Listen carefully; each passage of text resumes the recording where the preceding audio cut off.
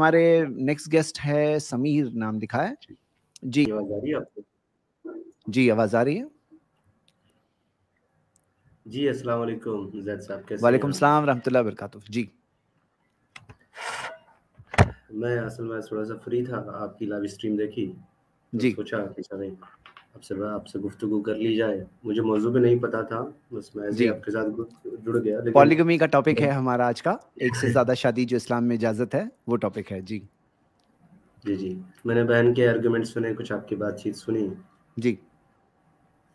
देखिए मैं ये समझता हूँ अपने पर्सनल तौर पर कि हर एक इंसान का जो है ना वो सोचना और उसकी सोच उसका नज़रिया जो है उसके अंदर इख्तलाफात हो सकते हैं। लेकिन डिस्कशन होना चाहिए और हेल्दी डिस्कशन होना चाहिए। या तो इंसान कुछ सीख ले या तो कुछ सिखा ले। क्या कहते हैं? जी जी समीर भाई। जहाँ तक पॉलीगमी के ताल्लुक से मेरे ख्याल हैं और बीइंग एक्स मुस्लिम डेफिनेटली वो ख्याल तो नहीं होंगे जो इस्लाम के हैं। उससे मुतफरक ही होंगे लेकिन मैं ये समझता हूँ कि एक से ज़्यादा शादी जो है मतलब सिर्फ़ इसलिए वो ख्याल नहीं होंगे क्योंकि आप एक्स मुस्लिम हैं। असल में वो इसलिए नहीं होंगे नहीं, क्योंकि आप ऐसा क्यों बोल रहे हैं कि एक्स मुस्लिम है इसलिए वो ख्यालात नहीं भाई ख्यालात की बुनियाद हाँ कोई लॉजिक होगी ना मैं कि मैं वही इसलिए कि इस्लाम में इस वजह से नहीं होंगे। जी जी मैं मैं वही वजाहत कर रहा हूँ। इसके लिए मेरी कोई नहीं इस्लाम नहीं कोई आप वजाहत कर चुके ना आप बोल रहे हैं क्योंकि मैं एक्स मुस्लिम हूँ तो डेफिनेटली वो ख्यालात नहीं होंगे। तो यानी सिर्फ़ इस वजह से नहीं होंगे क्योंकि आप एक्स मुस्लिम हैं। ओके अगर आप आपकी इजाज़त हो तो मैं बता दूँ कि क्यों नहीं होंगे मैं वही बताने अरे आप बता चुके हैं मैं वो पूछ रहा हूँ ना। नहीं बताया। मैंने आपने नहीं बोला नहीं वो बेसिस की बात कर रहे थे? जी जी मैंने लेकिन मैंने चलिए आप कैरी ऑन अभी तक जी। मैंने सिर्फ़ सिर्फ़ अभी तक पॉइंट रखा है पॉइंट की एक्सप्लेनेशन नहीं रखी। वो आप आप मुझे रोक रहे हैं रखने से खैर चले। बहुत बहुत शुक्रिया जैद साहब। नहीं नहीं वो रोक नहीं रहे आपको। वो आपके रोक नहीं पूछ आपने एक बात बोली कि क्योंकि जस्ट मैं एक्स मुस्लिम इसलिए डेफिनेटली वो ख्यालात नहीं होंगे। तो मैं बोल रहा हूँ सिर्फ़ इस वजह से कोई ख्याल नहीं होना चाहिए कि मैं एक्स मुस्लिम हूँ तो इस्लाम में जो भी है मैं उसकी मुखालफत करूँगा। मैं ये बोल रहा हूँ कंटिन्यू करिए आप। मेरे ख्याल इसलिए वो नहीं होंगे क्योंकि हम एक्स मुस्लिम जो है ना वो ये समझते हैं मॉरलिटी के बेसिस पे और ह्यूमैनिटी के बेसिस पे कि इस्लाम जो है वो बाकी आम इंसानी मॉरलिटी और, और जो ह्यूमैनिटी के जो बेसिस होते हैं उनके खिलाफ है। और एक मुस्लिम होने के ताल्लुक से मैं ये समझता हूँ कि डेफिनेटली मेरे ख्याल अगर मैं एक इंसानियत को फॉलो करता हूँ या मॉरलिटीज़ को मैं इस कुछ एक स्पेशल दर्जे पर रख रहा हूँ तो डेफिनेटली मेरे ख्यालात जो है वो इस्लाम से मुख्तलिफ़ ही होंगे। इसलिए मैंने ये बात बोली थी। एनीवे मैं अपने पॉइंट के ऊपर आता हूँ। मैं पर्सनल तौर पर अपने ये समझता हूँ कि एक से ज़ायद शादी करना जो है, वो औरत के हकूक़ के खिलाफ है। अगर आज इस पर वजाहत चाहेंगे तो मैं कर दूँगा। जी एक से ज़्यादा शादी की बात आप बता रहे हैं? औरतों के हुकूक के खिलाफ है? जी। ओके। बताइए। वो इस वजह से खिलाफ हैं क्योंकि अभी मैंने हज़रत की बात सुनी सरफराज साहब की वो ये कह रहे थे कि अगर ये उस नौयत के एतबार से है एक से ज़्यादा शादी जबकि आप उसकी इस्तेदाद रखते हो हिम्मत रखते हो कि एक से ज़्यादा बीवी को आप रख सकें उनका खर्च उठा सकें उनकी ज़रूरियात को पूरा कर सकें। लेकिन आमतौर पर बात यह है कि एक वुमन की जो ज़रूरियात हैं उनको पूरा कर देने भर से जो है वो पूरा कर देना भर काफ़ी नहीं है। ये आमतौर पर आप साइंस की काफ़ी अच्छी जानकारी रखते हैं जैद साहब और ये साइंटिफिक प्रूवन है कि एक वुमन के अंदर जो है इनसिक्योरिटी और जेलिसी जो है कंपेयर टू मैन बहुत ज़्यादा होती है। हम्म, अगर आप इस्तेदाद रखते हैं और आप इस लायक भी हैं कि आप एक से ज़्यादा बीवी कर लें तो उस कंडीशन में अगर आपकी बीवी जो है आपकी मुखालफत नहीं कर सकती इस एतबार से कि आप उनका खर्च उठा लेंगे उनकी ज़रूरियात पूरी करेंगे फिर भी हम्म। किसी भी एक महिला को कतन ये चीज़ पसंद नहीं आएगी कि आप वो हक किसी दूसरी महिला के साथ शेयर करें जो कि सिर्फ़ उसका है ऐसी हम्म। कंडीशन में उसको तक, तकलीफ़ होगी गरा गुजरेगा लेकिन ये हमारा जो इस्लाम है इसके अंदर अकीदे का मामला है तो अल्लाह के हुक्म के खिलाफ कोई भी हमारी मुस्लिम बहन जो है वो जाना नहीं चाहती, इसलिए वो खामोशी अख्तियार करती है।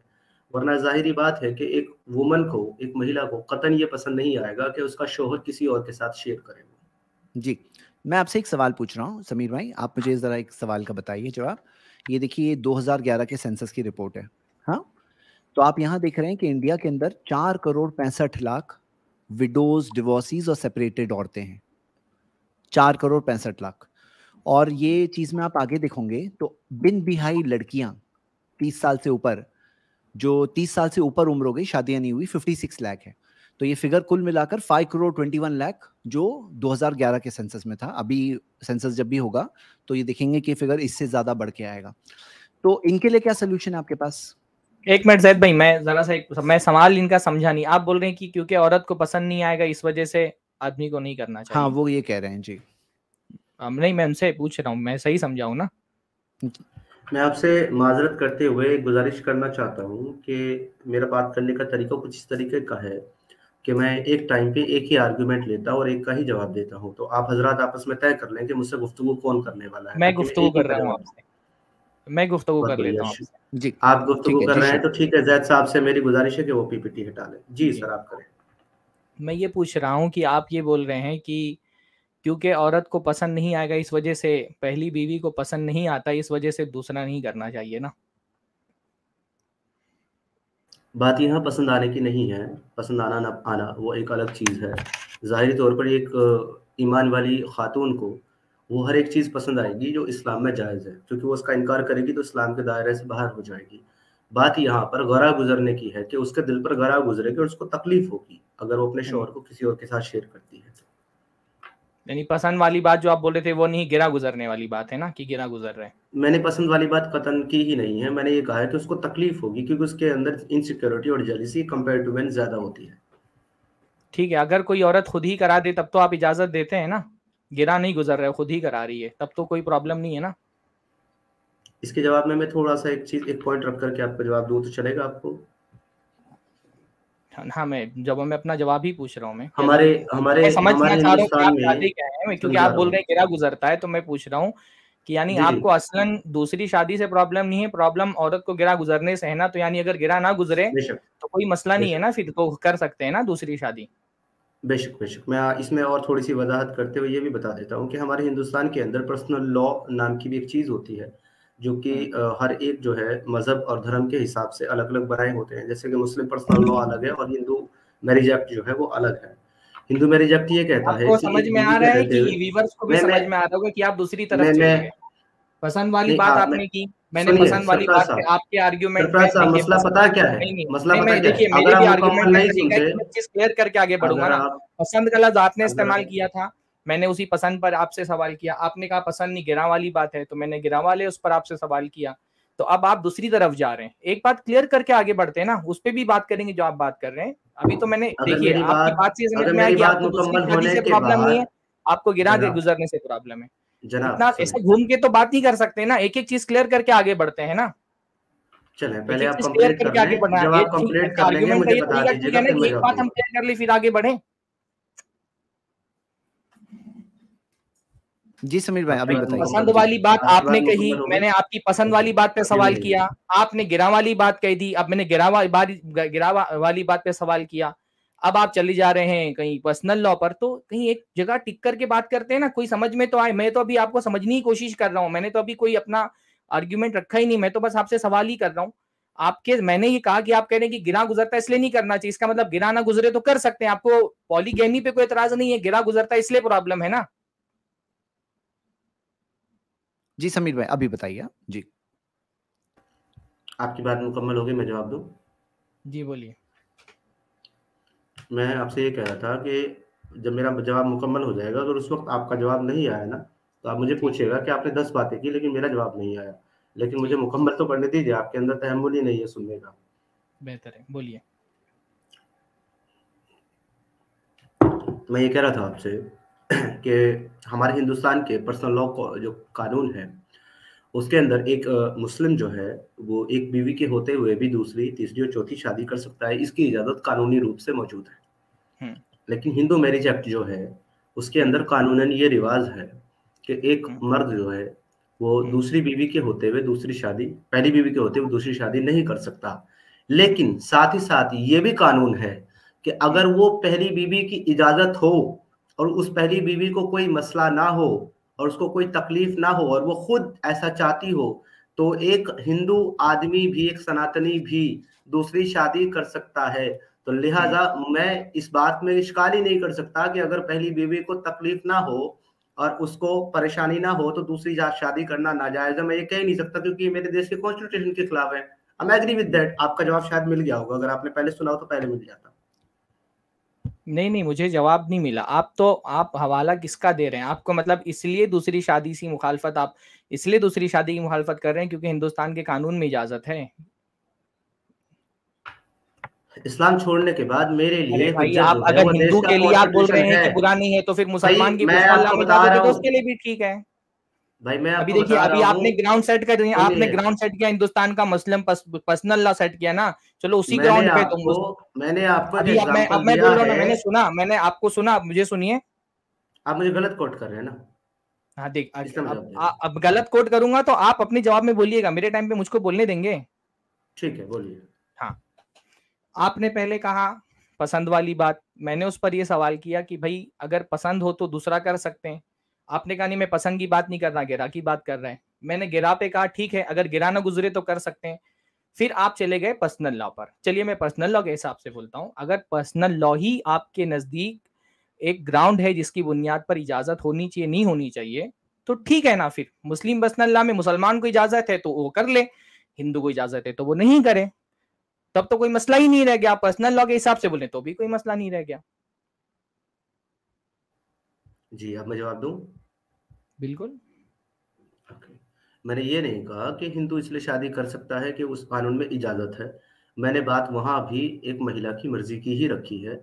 मैंने जो पर्सनल लॉ का एग्ज़ाम्पल दिया है वो मैंने आपकी बात को और जो है ना ज़ोर देने के लिए आपकी बात आप जो भी बोल रहे हैं ना लोग पीछे से जब ये डिस्कशन हो जाएगा ना तो लोग पीछे now now you are now you are breaking your own जी जी मैं ऐसा करता हूँ मैं ऐसा करता हूँ ये टाइमर लगा देता हूँ।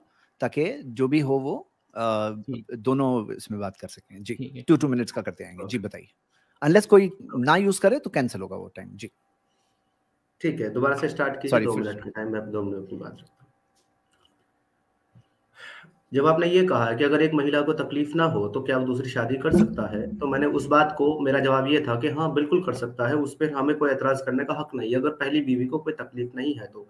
इवन दो कि हिंदुस्तान के कानून में एक हिंदू शादी नहीं कर सकता दूसरी पहली बीवी के रहते लेकिन अगर पहली बीवी इजाज़त दे तो वो भी दूसरी शादी कर सकता है। मेरा मकसद यहाँ पर कहने का ये था। ये नहीं था कि हिंदुस्तान का कानून कह रहा है इसलिए जायज़ है।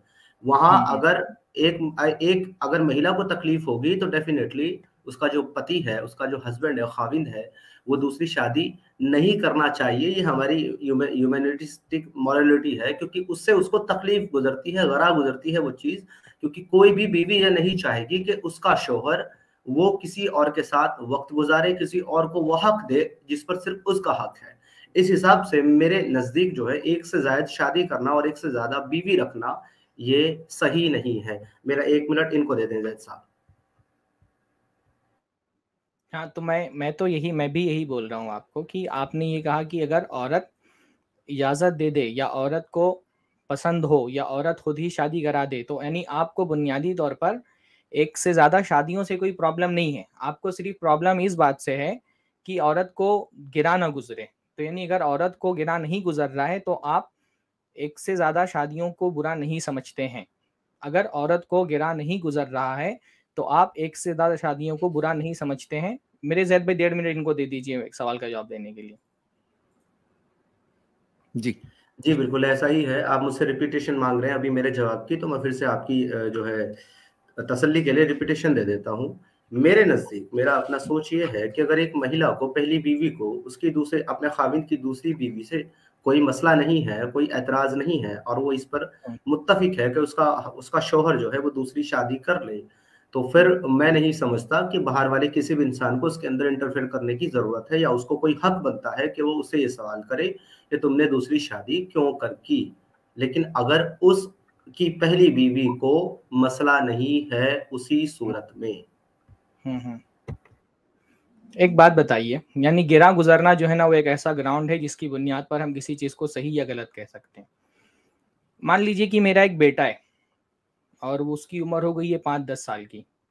अब मैं एक और बेटा पैदा करना चाहता हूँ, पर मेरे बेटे को गिरा गुजरता है कि मैं एक बेटा और ना पैदा करूँ, वो चाहते हैं कि मैं इकलौता रहूँ।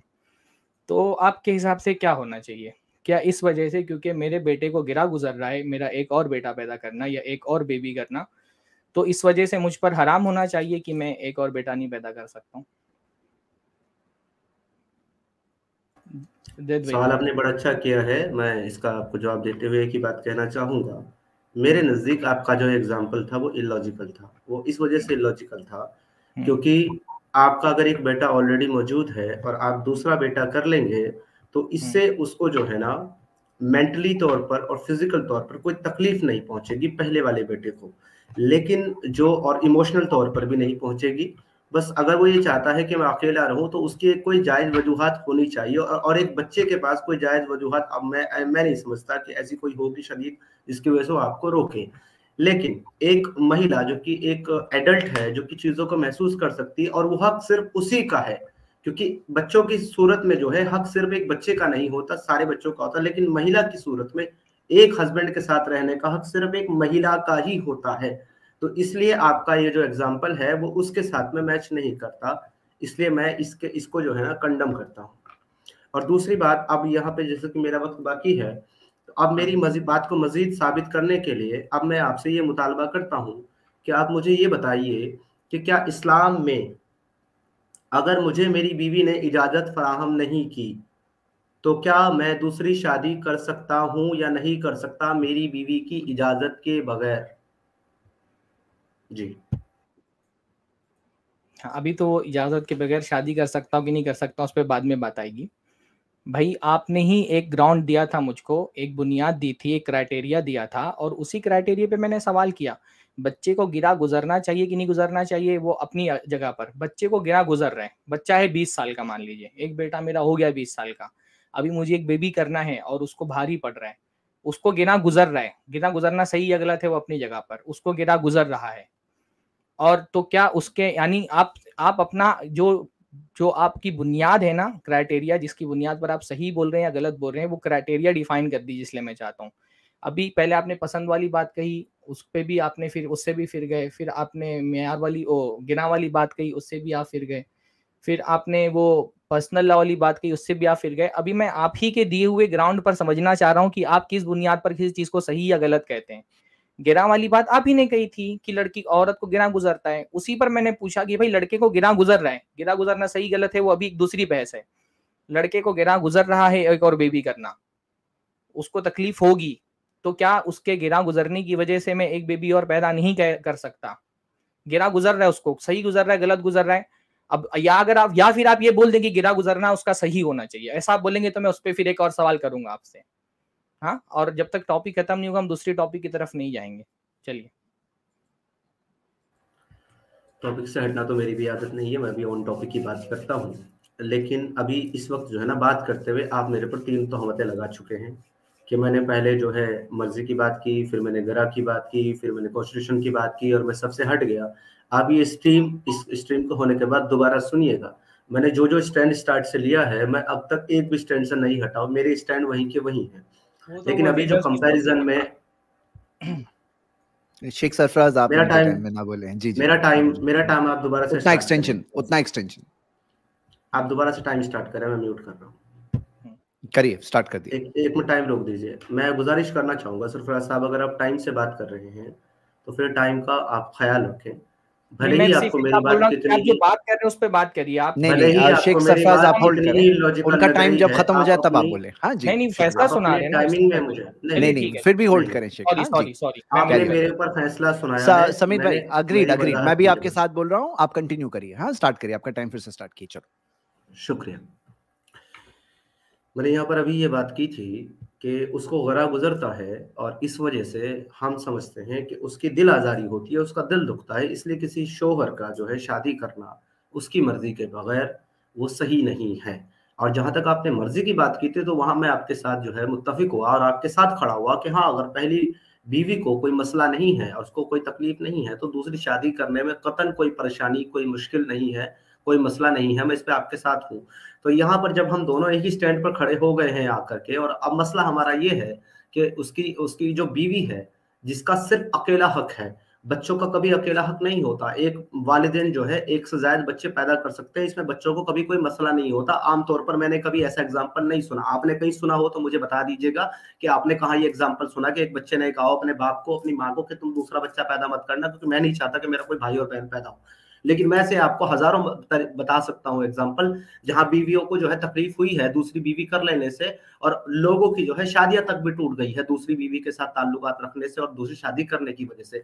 आप अगर एक मुझे एग्ज़ाम्पल ऐसा बता देना कि बच्चे घर छोड़ के भाग गए क्योंकि माँ बाप ने दूसरा बच्चा पैदा कर लिया तो मैं आपकी बात को लॉजिकल मान लूँगा। So it was totally illogical तो अब जब दोनों का स्टैंड यहाँ पर ये आ चुका है क्लियरली हम दोनों एक स्टैंड पे खड़े हैं कि बीवी की इजाज़त के साथ कोई मसला नहीं है और बीवी की इजाज़त के बगैर मसला है तो अब यहाँ पर आगे की बात जो होगी वो ये होगी कि अब आपको ये साबित करना है मुझे कि क्या इस्लाम में रहते हुए एक बीइंग अ मुस्लिम क्या मेरे लिए औरत की इजाज़त ज़रूरी है दूसरा निकाह करने के लिए? फ़र्ज़ है या गैर ज़रूरी है? टाइम अप टाइम अप जी। जी। भाई मैं तो सीधी सीधी बात एक सवाल कर रहा हूँ और मुझे अभी तक के वो सवाल का जवाब नहीं मिला है। दोनों में फ़र्क क्या है मैं ये बोल रहा हूँ। आपने खुद बताया आपने खुद एक क्राइटेरिया तय किया कि क्योंकि पहली बीवी को गिरा गुजरता है इसलिए दूसरी बीवी नहीं लाना चाहिए। मैं बोल रहा हूँ कि एक लड़के को गिरा गुजरता है, लड़का हो गया बाईस साल का, पच्चीस साल का हो गया उसको ना बुरा लगता है, उसके दोस्त उसका मज़ाक उड़ाएँगे अगर उसकी माँ प्रेग्नेंट हो तो वो नहीं चाहता कि उसकी माँ प्रेग्नेंट हो, उसका मज़ाक उड़ाएँगे उसके दोस्त लोग, इसलिए उसको गिरा गुजर रहा है। और ऐसा होता है, मैं मिसाली भी दे सकता हूँ आपको, कॉमन है बहुत। लड़के बड़े हो जाते हैं ना तो उनको बुरा लगता है अगर उनके अब्बा के बच्चे होने वाले हैं तो ऐसा है, होता है ऐसा। तो अब ये सीधी बात है कि लड़के को गिरा गुजर रहा है तो दूसरा लड़का क्यों ला सकते हैं? अगर बीवी को गिरा गुजर रहा है। ये जो आप बोल रहे हैं ना कि दोनों का हक बराबर होता है, हक बराबर होता नहीं होता है तो फिर डिबेट हो जाएगी अलग। किसका हक बराबर होता है, किसका होता है, किसका वही तो बात चल रही है ना कि बीवी का हक और क्या ये हक बीवी को पहुँचता है कि नहीं पहुँचता है कि वो एक और बीवी को लाने से मना करे शोहर को? उसी पे तो डिबेट चल रही है हमारी, उसी पे तो बात हो रही है। तो लड़के को गिरा गुजर रहा है, दोनों में फ़र्क क्या है? ये बताइए आप मुझको क्योंकि मुझे समझ में नहीं आ रहा है कि आप बीवी के गिरा गुजरने पर कह रहे हैं कि दूसरी बीवी नहीं ला सकते और लड़के के गिरा गुजरने पर आप इजाज़त दे देंगे कि लड़का और ला सकते हैं। दोनों में फ़र्क क्या है वो बताइए आप मुझको मुख्तसर में बताइए बहुत यहाँ वहाँ की बात मत करिए दूसरे टॉपिक पे मत जाइए जब ये टॉपिक खत्म हो जाएगा तो हम दूसरे टॉपिक पे बात करेंगे। जी जैद भाई। जी। हाँ समीर भाई। अगर मोहतरम को ये लगता है कि मैं दूसरे टॉपिक पर चला गया हूँ तो मैं इसमें अब कुछ भी नहीं कहना चाहूँगा, क्योंकि शायद हमारा टॉपिक वही है स्टार्ट से और उसी पे अब तक बात कर रहे हैं। ना तो टॉपिक से मैं हटाऊँ और मैं आपके ऊपर झूठी तहमत नहीं लगाऊँगा कि आप टॉपिक से हटे, आपकी तरह जैसे आप लगा रहे हैं, क्योंकि हम दोनों एक ही टॉपिक पे बात कर रहे हैं अब तक। लेकिन जो एग्ज़ाम्पल आपने सेट किया है, मैंने उसके लिए बता दिया आपको कि वो एक लॉजिकल एग्ज़ाम्पल है। वो इसलिए क्योंकि इसकी मिसालें जो है, माशरे में बहुत ही ना के बराबर है। मैंने तो आज तक नहीं सुनी, शायद आपके अगर एक आध इंडिविजुअल कोई आपके सामने गुजरी हो, वो एक फर्दर मैटर है। लेकिन मैं ये कह रहा हूँ कि इस तरह की मिसालें बहुत आम है कि दूसरी बीवी करने से पहली बीवी को तकलीफ़ हुई है। आप मुझसे बार बार वही चीज़ें घुमा फिरा करके पूछ रहे हैं और बार बार उसी पर ज़ोर दे रहे हैं, अड़े हुए हैं उस पर। तो मैं नहीं समझता कि इस नौयत में या इस तरीके से जो है ये हमारी बातचीत जो है या हमारी डिबेट जो है वो आगे बढ़ सकती है। क्योंकि एक, हम एक जगह पर पहुँच चुके हैं जहाँ पर मैंने आपके साथ मुत्तफिक होते हुए आपकी राय के साथ मैंने जो है खड़े होते हुए ये कहा है कि मैं इस बात से आग्रही करता हूँ कि अगर पहली बीवी को मसला नहीं है तो शादी जा, जायज़ है उसमें कोई मसला नहीं है क्योंकि हमारे लिए मॉरलिटी और इंसानियत के ताल्लुक से उसकी दिल आजारी उसका दिल दुखना उसके हुकूक सबसे मेन है। अगर वो खुद इजाज़त दे रही है और उसको खुद मसला नहीं है तो फिर वहाँ पर हम हमें कोई हक नहीं बनता कि हम उस पर एतराज़ करें।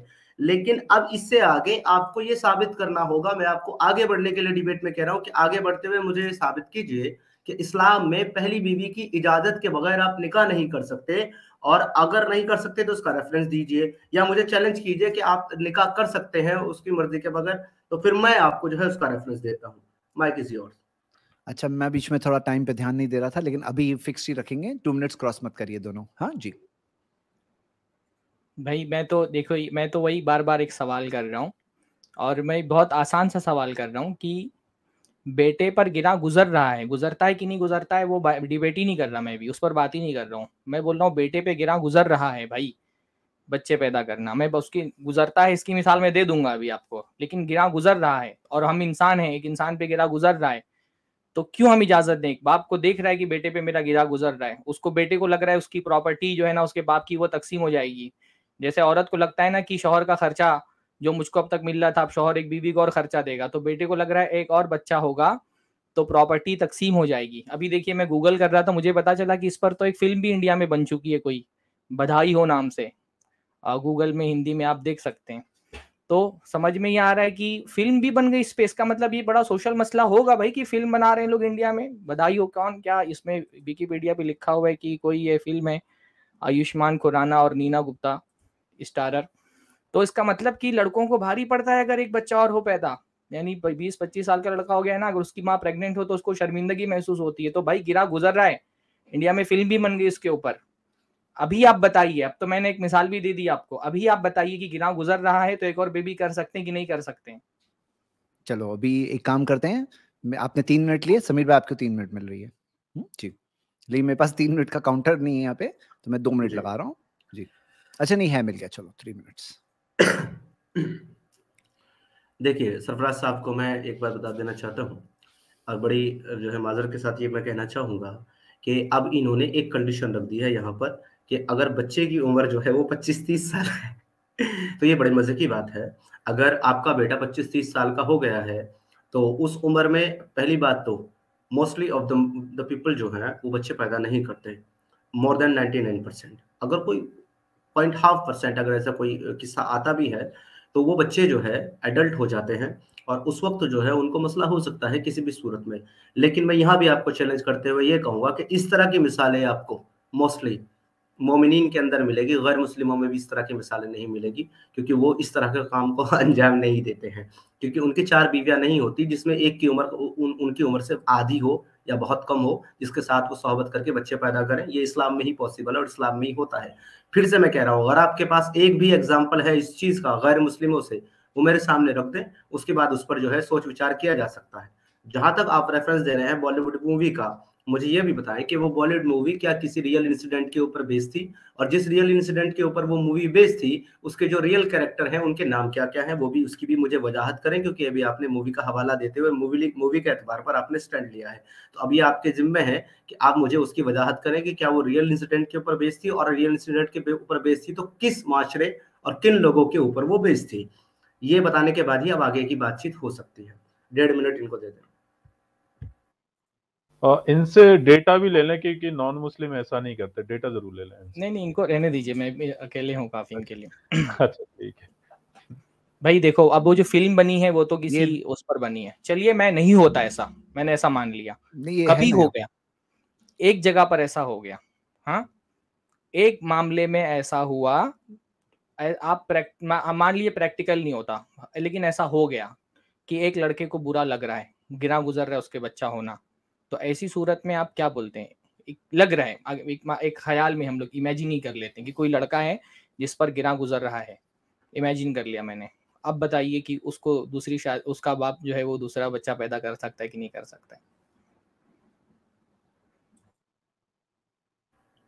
चलो बैक टू टू मिनट्स करते हैं ताकि जरा फास्टर क्रिस्प डिस्कशन हो। तो मैं टू मिनट्स का भी सब लोग फॉलो करिए हाँ जी। टू मिनट स्टार्ट समीर भाई। मेरा आप आधा ही मिनट रखिए। मैं तो आपसे यही कहना चाहूँगा कि अगर आप इमेजिनेशन करके सवाल, अगर आप इमेजिनेशन करके सवाल कर रहे हैं तो मैं तो ये कहूँगा कि इमेजिनेशन में भी जवाब भी तलाश कर लें। क्योंकि यहाँ इमेजिनेशन के ऊपर बातचीत करने बैठे हैं कि मुआशरे के अंदर जो मसले हैं, जो मसाइल हैं, उनके ऊपर बात करने बैठे हैं। मैंने ये बोला है इंडिविजुअल अगर एक आध केस इस तरह का है तो उसको इंडिविजुअल लेवल पर सुलझाया जा सकता है। आम चीज़ जो होगी माशरे में, जो आम मसला होगा, उसके ऊपर हम डिस्कस करेंगे। और यहाँ हमारा मौजूद जो है, वो पॉलीगमी के ऊपर है। और पॉलीगमी के जो है, वो सिर्फ़ इस्लाम में जायज़ है, सनातन में वो जायज़ नहीं है कि आप एक बीवी के रहते, दूसरी बीवी से शादी करें। तो मैं नहीं समझता कि इस तरह की नौयत आएगी कि एक इंसान जो कि बुज़ुर्ग हो चुका है चालीस पचास साल की उम्र को पहुँच चुका है, उसके पास ऐसी बीवी मौजूद हो जो कि पंद्रह बीस साल की, पच्चीस साल की हो, जो कि बच्चे को जन्म देने के काबिल हो, जिससे दूसरे बेटे को मसला हो सके। ये इस्लाम में ही पॉसिबल है और ये इसके एक जो है, अगर आप इसको इस तरीके से समझें कि ये इसके साइड इफ़ेक्ट में से एक चीज़ है, जो कि पॉलीगमी को आप प्रेजेंट कर रहे हैं, इस्लाम के तौर पर। तो इसकी भी दलील अब आपके ऊपर है कि आप इसको सही साबित करें, अगर ऐसी नोयत भी आती है तो। जी। भाई, मेरे सवाल का जवाब नहीं मिला। मैंने पूछा था कि पहले लड़के पर गिरा गुजर रहा है तो उसको बाप दूसरी शादी कर सकता है कि नहीं कर सकता है? आसान सा सवाल है, पता नहीं यहाँ वहाँ क्यों घूम रहे इतना ये। हालाँकि इनके सारे सवालों का जवाब है लेकिन मैं छोटा सा सवाल कर रहा हूँ और उसका जवाब नहीं दे रहे हैं कि पहले लड़के पर गिरा गुजर रहा है तो उसका बाप दूसरा बीबी कर सकता है कि नहीं कर सकता है? छोटा सा सवाल है और उसका जवाब नहीं मिल रहा है और जवाब में पता नहीं कहाँ चीन जापान जा रहे हैं मुझे समझ में नहीं आ रहा है जवाब।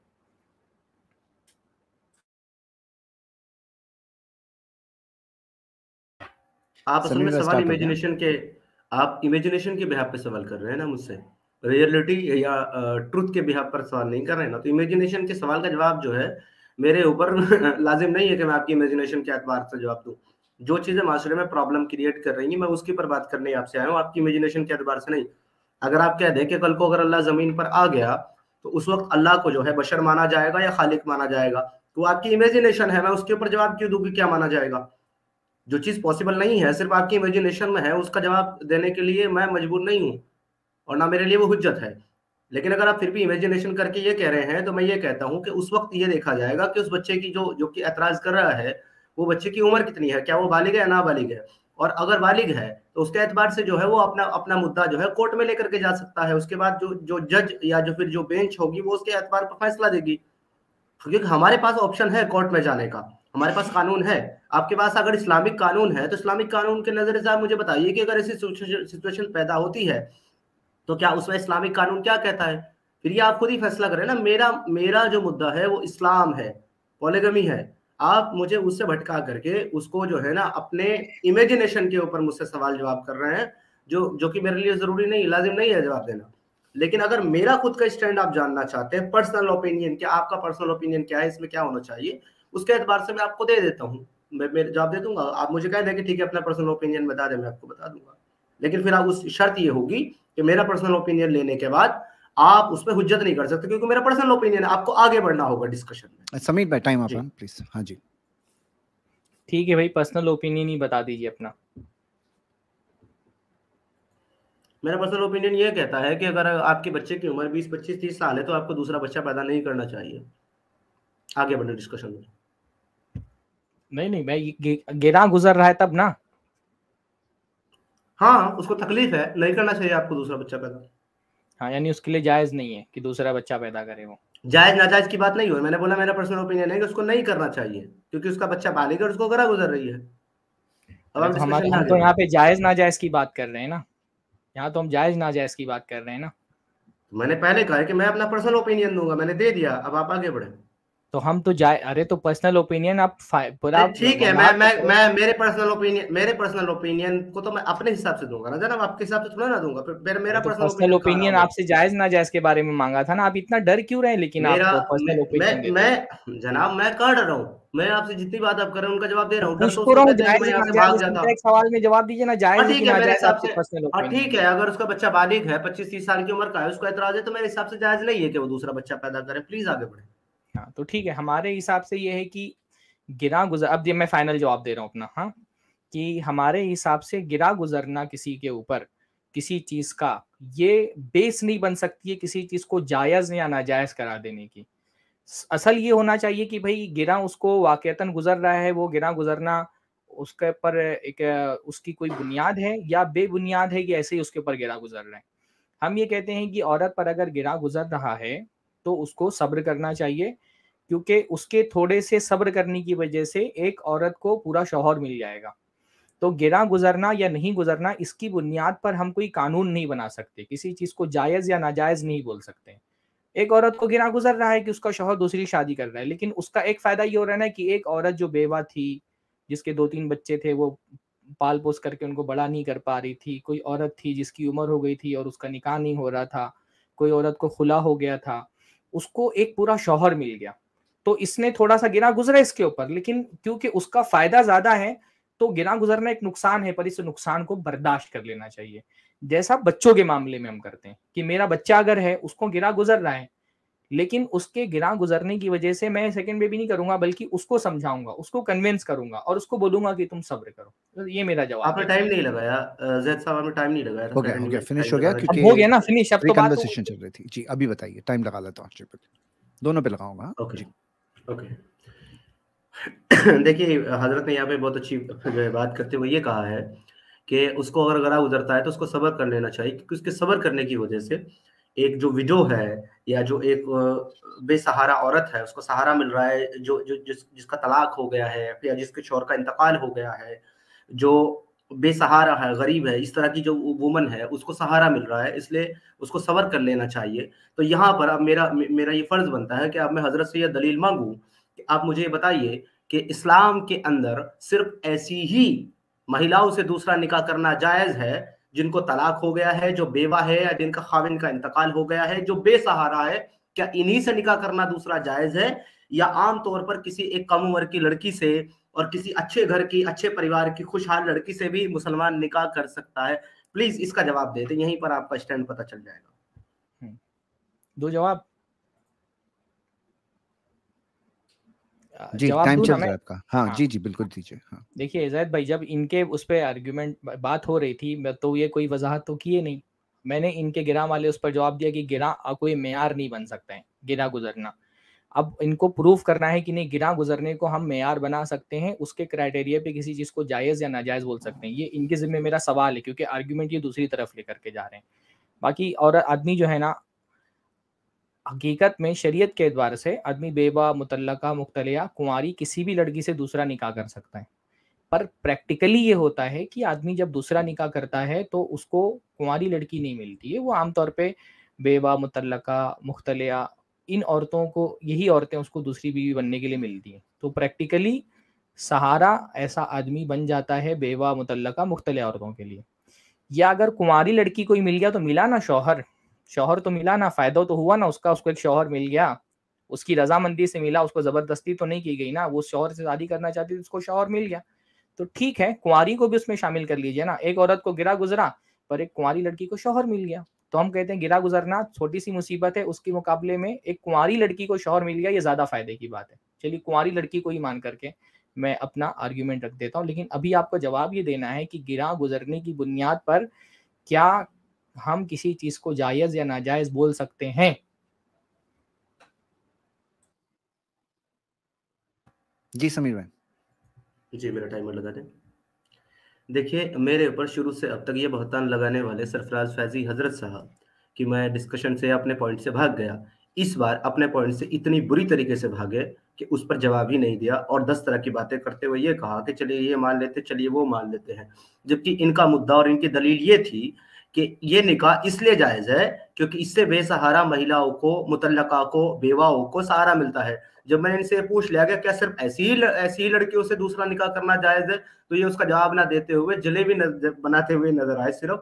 यहाँ पर मैं फिर इसने इनसे यही सवाल करता हूँ और इनकी जो मजीद इन्होंने बातचीत की है, उसके एतबार से ये पूछता हूँ कि अगर चले, ये आप तो जवाब नहीं दे पाए। आगे बढ़ते हुए मैं ये कह रहा हूँ कि अगर एक कुंवारी लड़की से उसने शादी कर ली एक पहली बीवी होने के जो कि अच्छे घर से थी अच्छे परिवार से थी मालदार मालदार घराने की थी कमारी थी खूबसूरत थी उसको तो कोई और भी शोहर मिल जाता। वो ऐसे ही लड़के से शादी क्यों करती जिसकी पहले से ही एक बीवी है?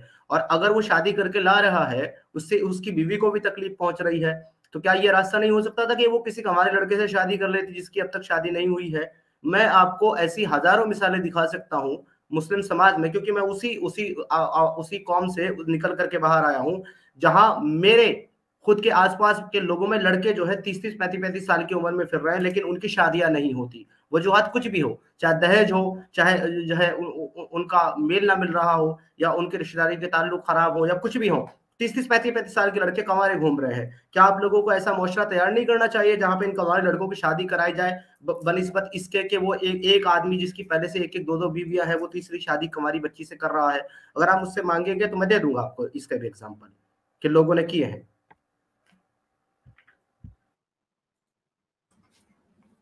जी क्या किसी चीज़ पर गिरा गुजरने की वजह से किसी चीज़ को जायज़ या नाजायज कहा जा सकता है? सिर्फ़ इस वजह से कि कुछ लोगों पे गिरा गुजर रहा है एक चीज़ को जायज़ या नाजायज कहा जा सकता है कि नहीं? ये सवाल है मेरा। अब इन्होंने अपना टाइम मुझे दे दिया बहुत बहुत मेहरबानी। तो मैं यहाँ गुजारिश करूँगा कि अगली बार चाहे इनको तीन मिनट या चार मिनट दे दीजिए। इस वक्त मुझे तीन मिनट दे दीजिए क्योंकि मुझे इसके लिए एक एग्ज़ाम्पल बताना होगा इनको ताकि हज़रत को समझ में आए। तो मेरी इज़्ज़त पटेल साहब से गुजारिश है इस बार मुझे दे थ्री मिनट्स थ्री मिनट्स करते हैं राउंड हाँ चलिए। चलिए कर लीजिए। जी। इन्होंने ये कहा है कि क्या किसी को बुरा लगना इस बात की हुज्जत हो सकती है कि वो उस काम को ना करे या गरा गुजर रहा है? डेफिनेटली क्योंकि हम लोग ये समझते हैं पर्सनली कि किसी चीज़ को महसूस करना फील करना ही सबसे बड़ी चीज़ होती है दुनिया के अंदर। एक लड़की जिसका रेप किया जा रहा है और एक लड़की जिसके साथ सोहबत की जा रही है। इन दोनों में कोई अलग स्पेशल काम नहीं होता, काम एक ही होता है, लेकिन दोनों में फ़र्क है। अगर कोई बालिग लड़की, हिंदुस्तान के कानून के मुताबिक अगर एग्ज़ाम्पल देता हूँ मैं तो कोई बालिग लड़की और कोई बालिग लड़का अगर आपस में ताल्लुकात कायम करते हैं तो वो ताल्लुकात कायम करने से उन दोनों पर कोई सजा नहीं है, ना कोई मुकदमा है। लेकिन अगर कोई आदमी किसी वुमन का रेप करता है, इस पर सजा है, इसका रीजन ये है कि जब कोई लड़की अपनी मर्ज़ी से किसी लड़के के साथ इंटीमेट होती है, जिसमानी ताल्लुकात कायम करती है तो उसमें उसको प्लेजर मिलता है, उसको खुशी मिलती है, क्योंकि उसमें उसकी मर्ज़ी होती है, उसकी चाहत होती है। लेकिन जब उस लड़की की मर्ज़ी और उस लड़की की चाहत के बगैर उससे वो जिस्मानी ताल्लुकात किया जाता किया जाता है, उसको रेप कहा जाता है, क्योंकि उसकी चाहत नहीं होती, उसकी मर्ज़ी नहीं होती उस काम को करने के लिए, वो तैयार नहीं होती, ना मेंटली, ना फिजिकली, ना इमोशनली। इसीलिए उसको तकलीफ़ गुजरती है और अक्सर रेप विक्टिम लड़कियाँ जो है, वो सुसाइड तक कर लेती हैं, इस वजह से कि उनके साथ रेप किया गया, उससे उसकी उसकी तकलीफ़ को बर्दाश्त करते हुए। ये सिर्फ़ चाहत और सोच का ही फ़र्क है नजरियात का और इसीलिए एक रेपिस्ट को सजा देने का प्रावधान है हमारे हिंदुस्तान के अंदर। लेकिन अगर दो बालिग लोग एडल्ट लोग जिसमानी ताल्लुकात कायम करें उस पर कोई कानून कोई प्रावधान नहीं है। ये आपकी बात का जवाब था कि किसी को गिरा गुजरती है तो वो काम करना क्यों गलत है और गिरा नहीं गुजरती तो वो काम क्यों किया जा सकता है? जी सरफराज साहब। मैं असल में सम, मेरे सवाल आप समझ नहीं पाए। मैं ये बोल रहा हूँ कि क्या सिर्फ़ सिर्फ़ गिरा गुजरने की वजह से कि किसी को गिरा गुजर रहा है, कोई कानून बना के किसी चीज़ को जायज़ या नाजायज करार दिया जा सकता है, सिर्फ़ सिर्फ़ गिरा गुजरने की वजह से। क्योंकि आपने कहा ना कि गिरा गुजरता है इस वजह से नहीं करना चाहिए। और तो कोई वजह आपने बताई नहीं। आपने कहा सिर्फ़ इसलिए क्योंकि गिरा गुजरता है पहली बीवी को, इसलिए दूसरा निकाह नहीं करना चाहिए। तो मैं ये पूछ रहा हूँ आपसे कि क्या सिर्फ़ गिरा गुजरने से कानून बना करके किसी चीज़ को जायज़ या नाजायज करार दिया जा सकता है? सिर्फ़ सिर्फ़ सिर्फ़।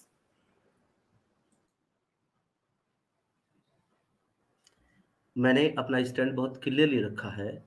सिर्फ़ उसको गरा गुजरने के एतबार से उस काम को नाजायज करार दिया जाना चाहिए और दिया जाता है हमारे हिंदुस्तान के कानून में। उसकी चाहत नहीं होती, उसको तकलीफ़ होती है, इसीलिए उसके साथ सेक्सुअल इंटीमेट करने करने की वजह से उस इंसान को रेपिस का चार्ज लगा करके उसको सजा दी जाती है। सिर्फ़ उसकी चाहत के खिलाफ काम होने की वजह से, उसको तकलीफ़ जो पहुँची है उसकी चाहत ना होने की वजह से, उसको गरा गुजरा है वो चीज़ इसी वजह से। लेकिन इस्लाम में यही काम को जायज़ करार दिया जाता है। एक वुमन को गरा गुजरने के बाद भी आपको इजाज़त है दूसरी शादी करने की। मैंने जो आपसे सवाल किया था, आपने उसमें मुझे अब तक जवाब नहीं दिया है और मैं आपको चैलेंज कर रहा हूँ। आप मुझे साबित कर दें सियासिता की किसी भी किताब से, किसी भी सुन्ना से इस्लाम की किसी भी किताब से कि आप के लिए पहली बीवी की इजाज़त ज़रूरी है दूसरा निकाह करने के लिए। अगर वो इजाज़त नहीं देती तो आप निकाह नहीं कर सकते। वो मेरा अभी तक आपके ऊपर ड्यू है इसका आपने मुझे अभी तक जवाब नहीं दिया है। मैंने अपना जवाब बहुत क्लियरली आपको बता दिया। अब मेरा आपसे मुतालबा है प्लीज़ मुझे वो रेफरेंस पेश करें, या वो दलील पेश करें, जिसमें आप ये कहते हैं कि एक महिला की मर्ज़ी के बगैर निकाह नहीं कर सकता एक मोमिन दूसरा। जी। ठीक है, अगर सिर्फ़ गिरा गुजरने की वजह से किसी चीज़ को कि कोई कानून नहीं लगाया जा सकता, कोई पाबंदी नहीं की जा सकती, मैं समझना चाहता हूँ। असल में मैं तो अभी समझ रहा हूँ कि आपका, आप किसी, किस बुनियाद पर किसी चीज़ को जायज़ या नाजायज़ बोलते हैं। तो जैसे हुकूमत ने लॉकडाउन में पाबंदी लगा दी कि आपको मास्क पहन करके बाहर निकलना है, और मुझे गिरा गुजरता है मास्क पहनना तो क्या गवर्नमेंट मुझको मजबूर कर सकती है मास्क पहनने पर? मुझे गिरा गुजरता है मास्क पहनना, मुझे सफोकेशन होता है, मुझे नहीं पसंद है। तो क्या गवर्नमेंट मजबूर कर सकती है? सिर्फ़ गिरा गुजरना, क्योंकि मुझे तो गिरा गुजर रहा है। तो क्या गवर्नमेंट मुझको मजबूर कर सकती है? सवाल है मेरा। फिर से एक और फुलिश आर्ग्यूमेंट आपने रखते हुए मुझसे सवाल किया है। लेकिन जब तक मैं डिस्कशन में हूँ, मेरी ज़िम्मेदारी है कि मैं आपके एक एक सवाल का जवाब दूँ। तो मैं चले इसका भी जवाब देने की कोशिश करता हूँ। आपने कहा है कि हिंदुस्तान के कानून ने ये अलाउ किया है कि आप जब बाहर निकले तो मास्क पहन करके निकले, वरना आप ना निकले। तो और मुझे वरा गुजरता है तो क्या मैं उसको नहीं पहनूं और मेरा ना पहनना क्या ये जायज़ होगा? तो मैं आपको यहाँ बता दूँ, इसके लिए जायज़ वजूहत होनी चाहिए। आपकी कोई मेडिकल कंडीशन होनी चाहिए या आपको कोई ऐसी प्रॉब्लम होनी चाहिए जिसकी वजह से मास्क पहनने से आपको प्रॉब्लम है। उसके लिए दूसरा कोई रास्ता ईजाद किया जाएगा या आप जो है बाहर जाने से बचेंगे, क्योंकि हिंदुस्तान के कानून को आपको मानना होगा जो आपके लिए बनाया गया है। फिर अगर आप उसको नहीं मानते और आप उससे बच करके निकलते हैं तो आपके लिए सजा भी है डेफिनेटली जुर्माना हो सकता है। लेकिन आपकी जान नहीं जाएगी। आप जो है मेंटली हेरस नहीं होंगे। आप अंदर से इतने नहीं टूट जाएँगे कि आप सुसाइड तक कमिट कर ले जैसा कि माशरे में होता आया है। तो आप मुझे अगर कोई दलील दे रहे हैं तो कम से कम उस मुकाबले की दलील दे जिस मौजू के ऊपर आप बात कर रहे हैं। ये दलील नहीं होती जो आप मैं अच्छे से समझ सुन नहीं पाए फिर से बोलिए ना। जैद भाई इनका टाइमर फिर से लगा दिए फिर से बोलिए ना मैं समझ नहीं पाया आप क्या बोल रहे हैं। मैं आपसे गुजारिश करूँगा कि अगर आप सुन नहीं पाए तो आप ये वीडियो रिवाइंड करके दोबारा सुन ले। एक बात को दो बार बोलना मेरी आदत नहीं है। देखिए भाई, अभी तो जो सुन रहे हैं ना, वो समझ रहे हैं अच्छे से। इन्होंने कहा, सिर्फ़ गिरा गुजरने की वजह से किसी चीज़ पर पाबंदी लगाई जा सकती, नहीं लगाई जा सकती। इन्होंने कहा, लगाई जा सकती है। तो भाई बोल रहा मुझे मास्क पहनने से गिरा गुजरता है। तो अब मेरे लिए तो फिर जायज़ होना चाहिए कि मैं बगैर मास्क पहने निकली। तो अब इन्होंने हेल्थ कंडीशन की बात लगा दी। यानी सिर्फ़ गिरा गुजरने की बुनियाद पर कोई चीज़ को जायज़ या नाजायज नहीं किया जा सकता है, उसके अलावा भी बेनिफिट देखने पड़ेंगे। तो हम भी तो वही कह रहे हैं जो आपने मास्क के बारे में कहा ना कि सिर्फ़ गिरा गुजर रहा है, इस वजह से मुझे इजाज़त नहीं होगी कि मैं खुले घूमूं बल्कि मेडिकल कंडीशंस और दूसरे बेनिफिट भी देखने पड़ेंगे। तो हम भी यही बोल रहे हैं कि एक औरत पे गिरा गुजर रहा है, लेकिन उसके साथ साथ क्योंकि दूसरे बेनिफिट हैं इस वजह से इजाज़त देना चाहिए दूसरी शादी की। हम ये बोल रहे हैं। अब बेनिफिट है कि नहीं, वो एक अलग डिस्कशन हो जाएगा, लेकिन पहले आप ये, आपके जो, आपने जो एक बताया था कानून ना कि गिरा गुजरने की बुनियाद पर किसी चीज़ से मना नहीं किया जा सकता है तो वो तो आपने खुद तस्लीम कर लिया कि अगर गिरा भी गुजर रहा हो एक चीज़, लेकिन अगर उसके दूसरे फ़ायदे हों तो उसकी इजाज़त होनी चाहिए, ऐसी चीज़ों पे पाबंदी लगाई जा सकती है। तो वो जो मैं पॉइंट साबित करना चाहता था, वो तो आपने तस्लीम कर लिया खुद।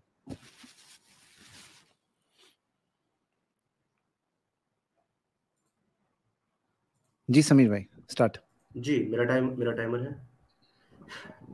मुझे जवाब देना है लेकिन मुझे हँसी आ रही है बहुत ज़्यादा। इन्होंने ये कहा है कि वो तो हम लोगों को भी हँसी आ रही जी जी शेख शाबान प्लीज़ बीच में ना बोले। मुझे चले आप पहले चले आप पहले हंस लें अपनी बात बाद में रख लूँगा जी शुरू करिए मैं आपको फिर से टाइमर लगा के दे रहा हूँ। जी स्टार्ट करिए।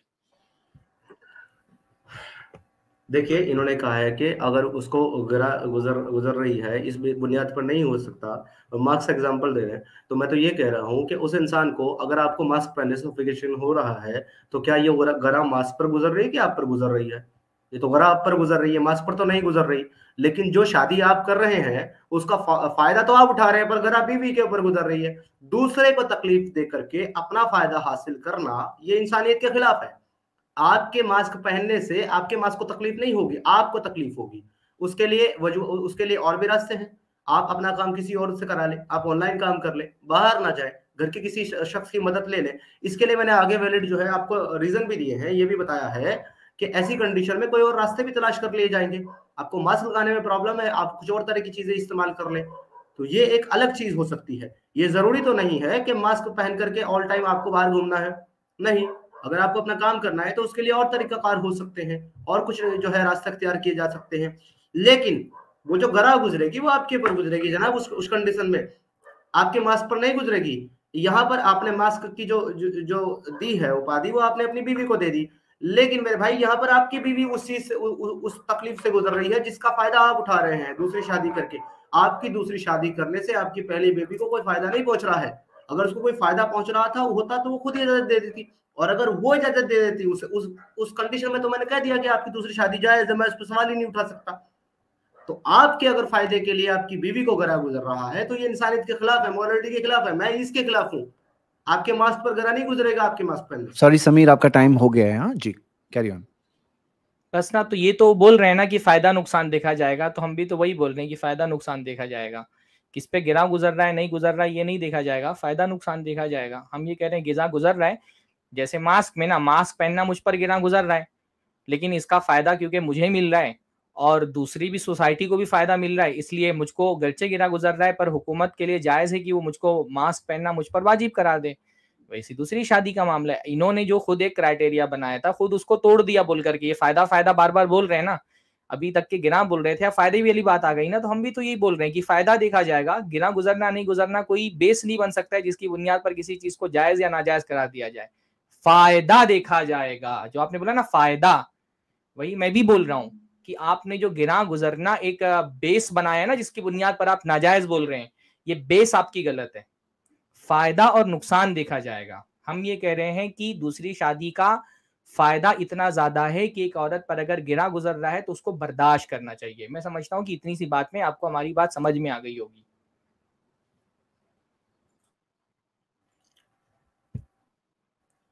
नहीं, मुझे पता है आपकी बात समझ में नहीं आई और इसलिए समझ में नहीं आई क्योंकि आपने अभी खुद यह कबूल कर लिया कि किसी को गरा गुजरने के बावजूद भी हम उस काम को कर सकते हैं क्योंकि हम फ़ायदा और नुकसान देखेंगे, ना कि ये देखेंगे कि उस महिला पर गरा गुजर रहा है या उसको ये चीज़ पसंद आ रही है। तो यही तो चीज़ है जिसके हम खिलाफ है। इस्लाम की यही चीज़ हमको पसंद नहीं है कि वह एक औरत की ख्वाहिश का, एक औरत की चाहत का ख्याल ना करते हुए सिर्फ़ फ़ायदे पर नज़र रखता है, इस वजह से दूसरी शादी की इजाज़त देता है। और आप मुझे साथ में आप ये भी बताइएगा, अपनी बात में मजीद जोड़ते हुए कि क्या सिर्फ़ दीनी या दुनियावी फ़ायदा होने की कंडीशन पर ही दूसरी शादी की जा सकती है या अगर किसी मर्द की चाहत हो शादी करना दूसरी तो भी शादी जायज़ है इस्लाम में। तो अगर आप इसको कह देते हैं कि नहीं, सिर्फ़ दुनियावी और दीनी फ़ायदे होने की नौयत में ही शादी दूसरी जायज़ है तो आपका जो पॉइंट है वो एक वैलिड पॉइंट बन जाएगा, फ़ायदे के एतबार से। लेकिन अगर आप ये कहते हैं कि नहीं ये ज़रूरी नहीं है। अगर इंसान एक चाहे अपनी ख्वाहिश के, के एतमाद पर भी वो शादी कर सकता है तो यहाँ पर फ़ायदा सिर्फ़ मर्द का है औरत को सिर्फ़ तकलीफ़ है। और फिर आगे मैं फिर वही बात दोहराता हूँ कि आपने मुझे अब तक ये रेफरेंस नहीं पेश किया है कि अगर एक औरत की एक महिला की मर्ज़ी ना हो तो आप निकाह नहीं कर सकते। ये भी आपके ऊपर वाजिब है। अगर इसी डिस्कशन में आप दे देंगे तो एक बेहतरीन डिस्कशन कंप्लीट डिस्कशन होगा। इसका जवाब दे दीजिए और वो रेफरेंस दे दीजिए। जी। पहले आप तस्लीम कर, पहले आप तस्लीम कर लीजिए कि आपने गिरा गुजरने का जो क्राइटेरिया बनाया था, वो काफ़ी नहीं है। फ़ायदा और नुकसान भी देखा जाएगा। पहले आप ये तस्लीम कर लीजिए। मेरे लिए फ़ायदा नुकसान कतई हुज्जत नहीं है। अगर एक महिला की दिल आजारी हो रही है, उसका दिल दुख रहा है, उसको तकलीफ़ हो रही है, मेरे लिए वो फ़ायदा नुकसान उस वक्त तक कतई हुज्जत नहीं है। जब तक वो फ़ायदा और नुकसान उस महिला का ना हो। लेकिन आपने फ़ायदे नुकसान की बात करी तो मजीद मैं अपना दिल खोलते हुए ये कह रहा हूँ कि आप मुझे ये साबित कर दें कि सिर्फ़ दीनी और दुनियावी फ़ायदे के एतमाद पर ही दूसरी शादी की जा सकती है। एक मर्द की ख्वाहिशात के एतमाद पर नहीं। आपकी बात मैं कंप्लीट मान लूँगा। मैं किसी और अगेन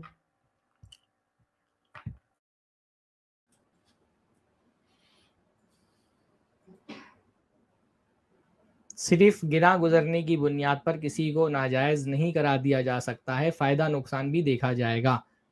ये आपने तस्लीम किया है, जब आप मास्क वाली मिसाल को वजाहत कर रहे थे ना, तब आपने तस्लीम किया है कि सिर्फ़ गिरा गुजरना क्राइटेरिया नहीं हो सकता है किसी चीज़ को जायज़ या नाजायज़ बोलने का। फ़ायदा नुकसान भी देखा जाएगा। ये आपने बोला है तो आप इसको तस्लीम कर लीजिए सिर्फ़। जो आपने बोला है मास्क के मसले में, सिर्फ़ इतना आप बोलो कि आप उसको तस्लीम कर लीजिए, जो आपने बोला है ताकि हम आगे डिस्कशन अपना आगे बढ़ा सके। मैं इतनी सी बात बोल रहा हूँ।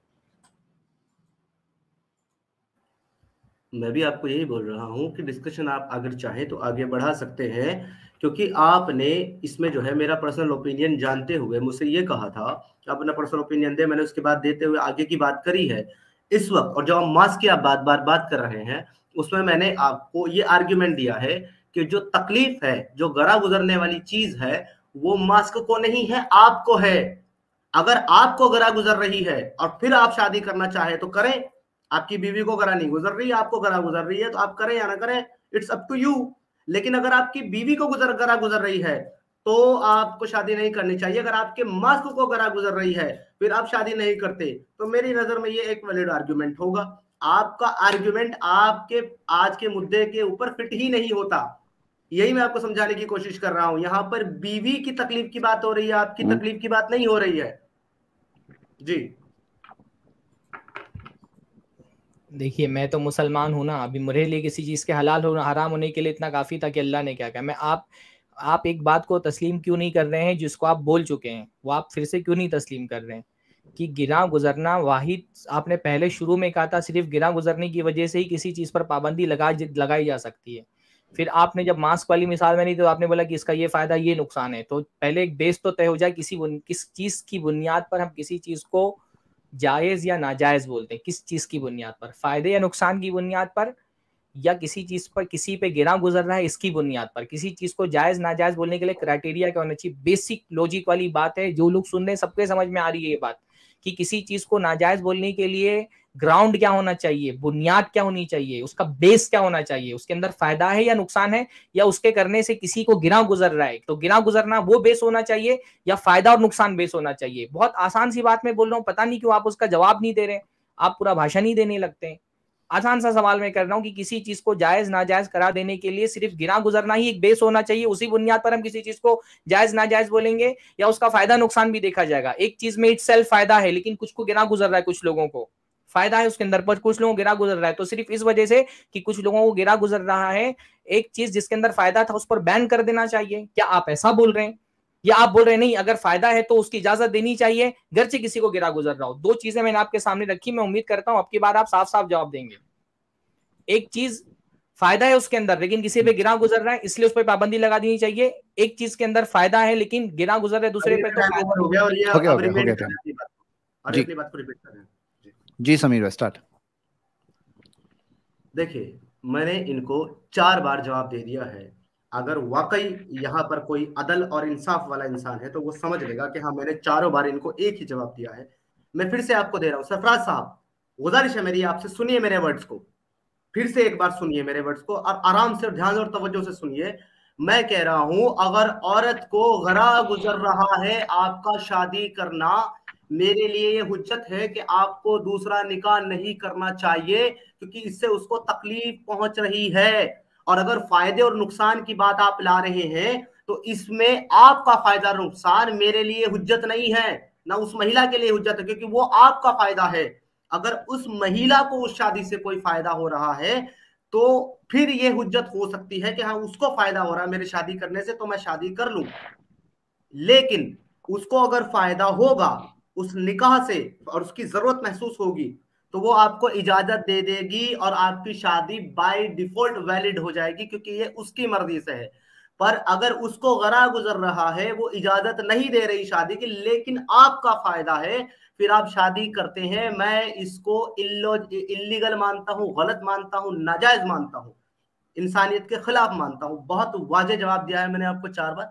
शायद आपने मेरा जवाब सुना था। होप सो इस बार सुन लिया चलिए ठीक है, यानी सिर्फ़ गिरा गुजरना जो है ना यानी इन्होंने जो शुरू में कहा था कि सिर्फ़ गिरा गुजरने की बुनियाद पर ही मना किया जा सकता है, अब ये उसमें फ़ायदा और नुकसान वाली एक बात इन्होंने शामिल कर ली है कि फ़ायदा और नुकसान भी देखा जाएगा। तो ठीक है, फिर फ़ायदे नुकसान पे बात करते हैं।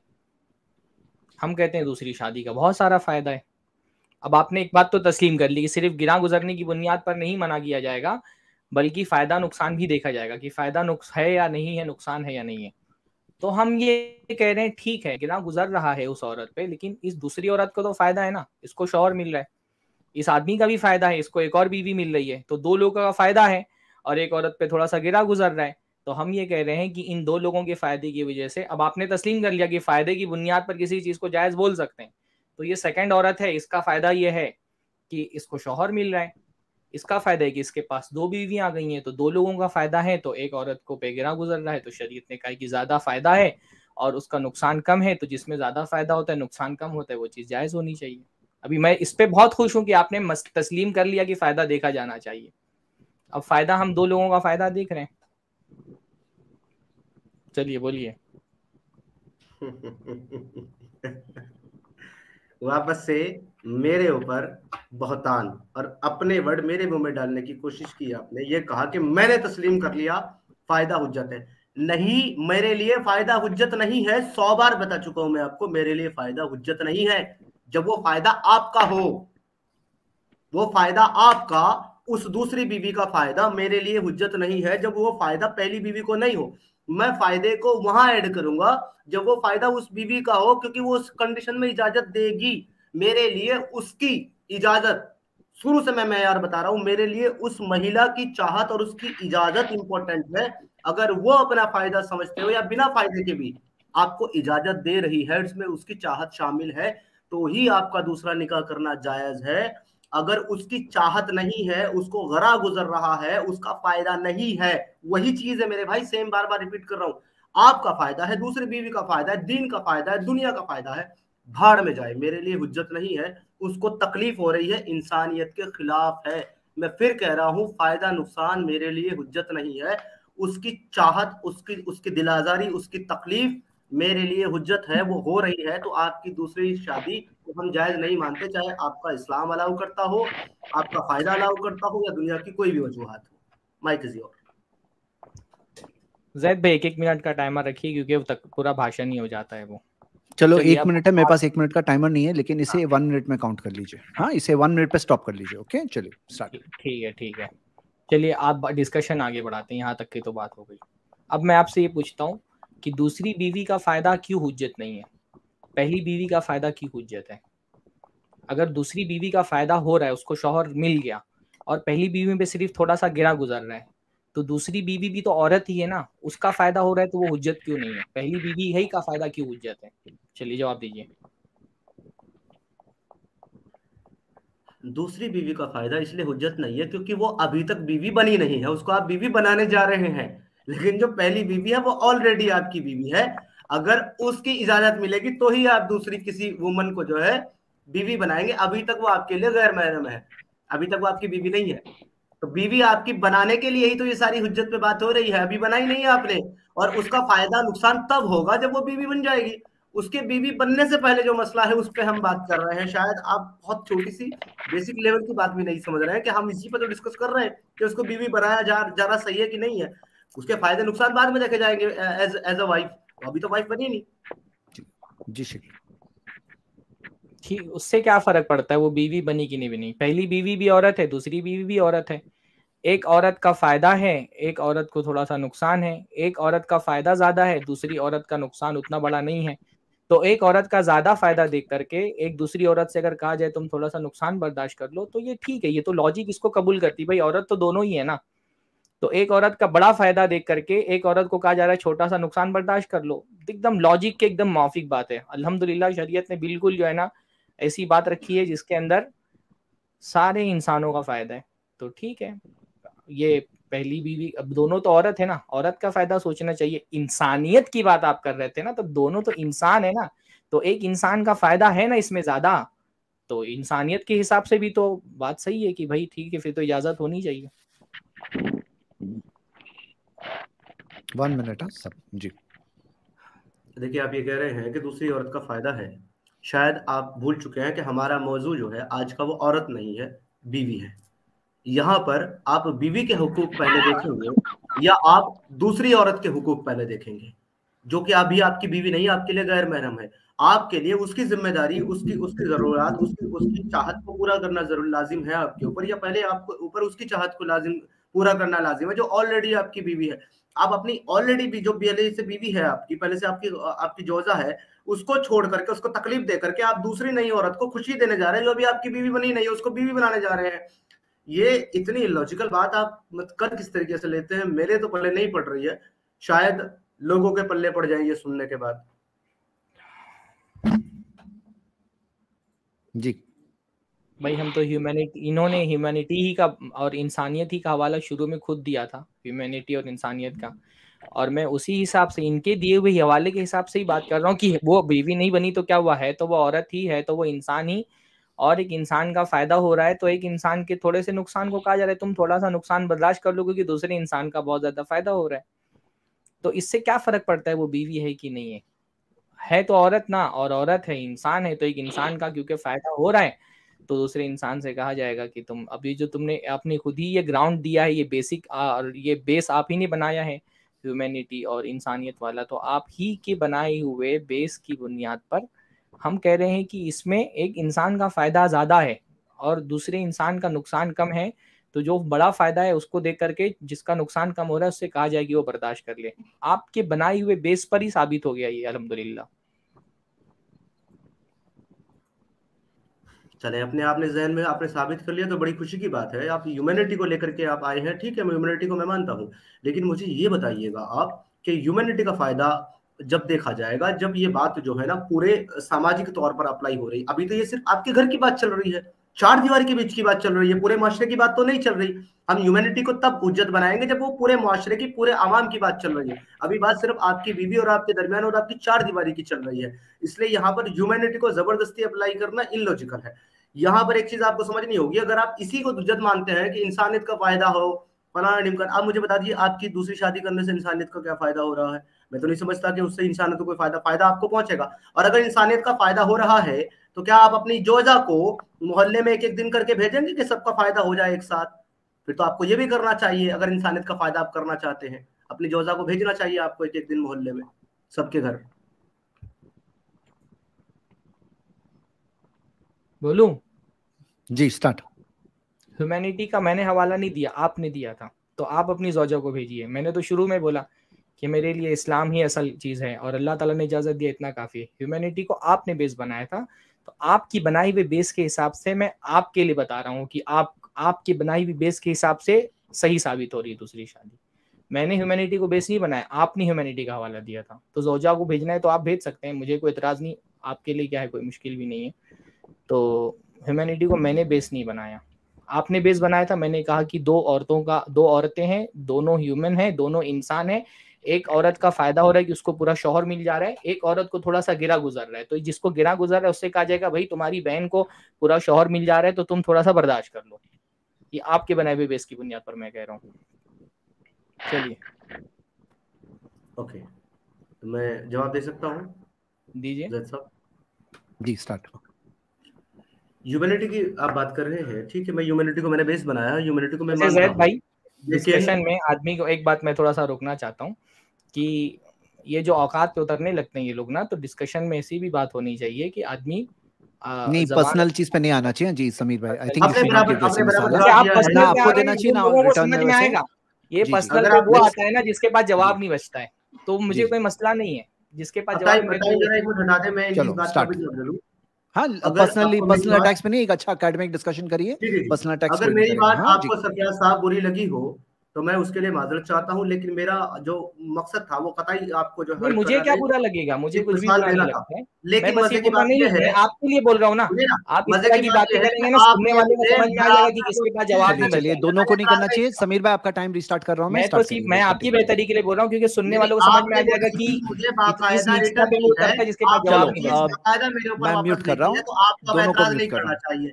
जब वो चीज़ आपने जब वो चीज़ आपने मुझे वापस कर चलो डिस्कशन आगे बढ़ाता हूँ आपको एतराज़ नहीं करना चाहिए। सर समीर भाई कंटिन्यू करिए। हाँ टाइम स्टार्ट किया अभी मैंने। जी 1 मिनट टाइम इंसानियत को मैंने अपना बेस बनाया है। इस वक्त जो है जिस महिला के बारे में बात हो रही जो आपकी जोजा है उसके हुकूक की को ख्याल रखना, उसकी दिल आजारी का ख्याल रखना, उसकी चाहत का ख्याल रखना, यही इंसानियत है इस वक्त के लिए, क्योंकि यहाँ पर इंसानियत को इम्प्लाई करने का अप्लाई करने का जो है मकसद यही है कि एक एक इंसान को उसका हुकूक बराबर मिले। उस पहली बीवी होने के ताल्लुक से आपकी बीवी के ऊपर आपका हक है और आप पर आपकी बीवी का हक है। अगर आप वो हक अपनी बीवी से ले करके या वो हक आप किसी और के साथ बांटेंगे तो ये उस महिला के खिलाफ है, उसके हुकूक के खिलाफ है, जो कि इंसानियत के खिलाफ है। मेरा मैार यहाँ पर यही है। जी। मुझ पर मेरी बीवी का भी हक है, मेरी सोसाइटी का भी हक है, जो सोसाइटी में मैं रहता हूँ। तो मेरी सोसाइटी में अगर किसी औरत को एक शोहर मिल जा रहा है ना तो उस सोसाइटी की औरत की ज़रूरत भी पूरा करना मेरी ज़िम्मेदारी है। तो मुझ पर मेरी सोसाइटी का भी हक है, मेरी बीवी का भी हक है। और बीवी का हक ये नहीं है, बीवी का हक जो है वो मैं उसको अदा करूँगा। बीवी का हक ये नहीं बनता है कि मैं एक और या दो या तीन या निकाह कर सकता हूँ, बीवी मुझको इससे रोके। तो एक, मैं मैं तो अब मेरे ख्याल से ये इस तरफ़ ना फजूली डिस्कशन हो रही है। मैंने अपना पॉइंट जो है ना वो सामने रख दिया है कि भाई दोनों औरतें हैं, दोनों औरतें इंसान हैं, एक इंसान का फ़ायदा ज़्यादा हो रहा है, एक इंसान का थोड़ा सा नुकसान हो रहा है तो ज़्यादा फ़ायदे को देख करके किसी चीज़ को जायज़ या नाजायज़ करा दिया जाता है, क्योंकि इसमें फ़ायदा ज़्यादा है औरतों का, इसलिए ये जायज़ है। बस। मैं अपनी बात रख चुका पूरी। अभी और कोई मुझको बोलना नहीं आगे इसके।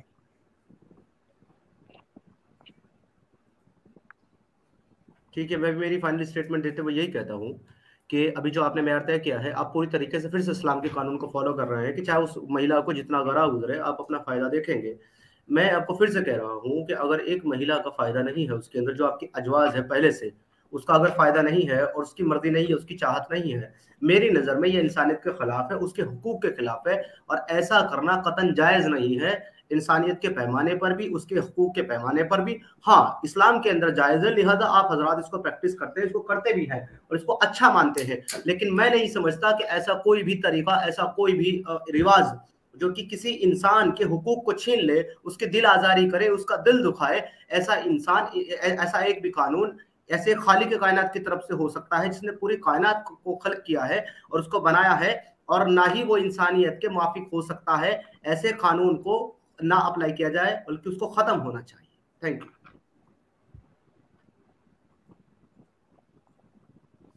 जी। मुझे बोलना है? हाँ।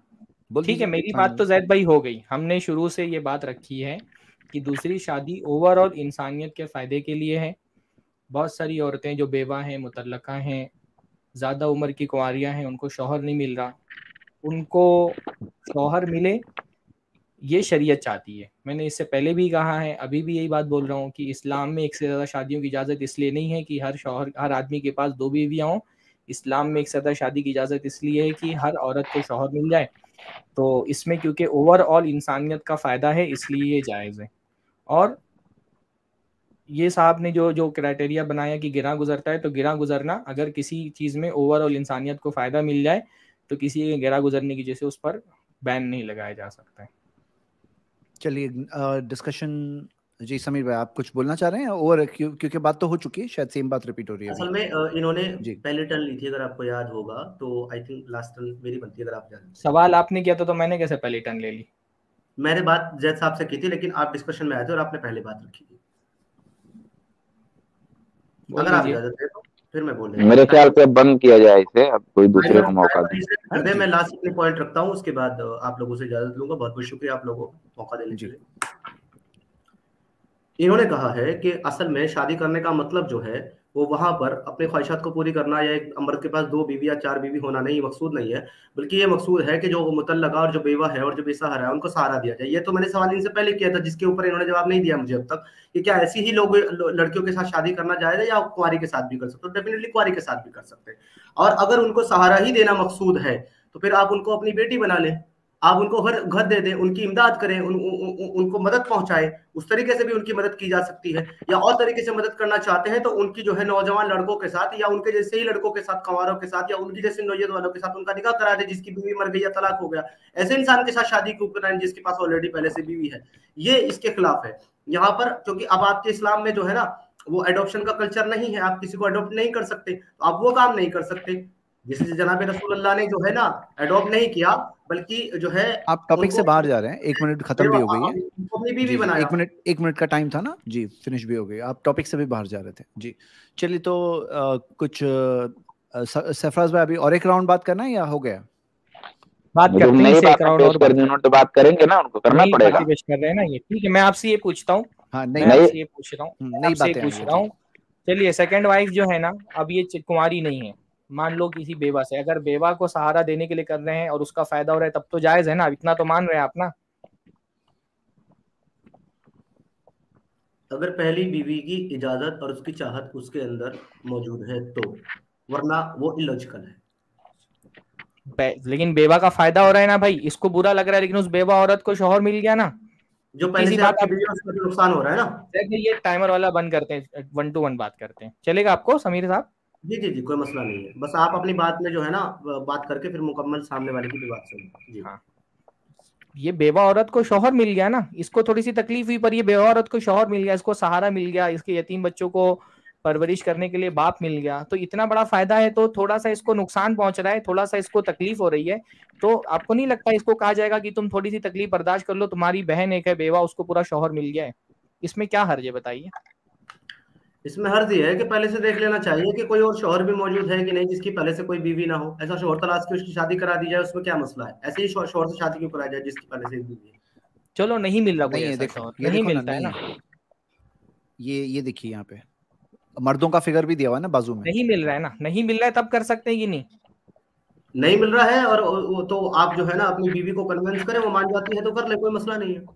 अरे भी फ़ायदे, मैं बोल रहा हूँ, नहीं मान रही है, लेकिन उसका इसके ना मानने से वो बेवा औरत ज़िंदगी भर बगैर शौर के बैठी रहे, क्योंकि मेरी बीवी नहीं मान रही है?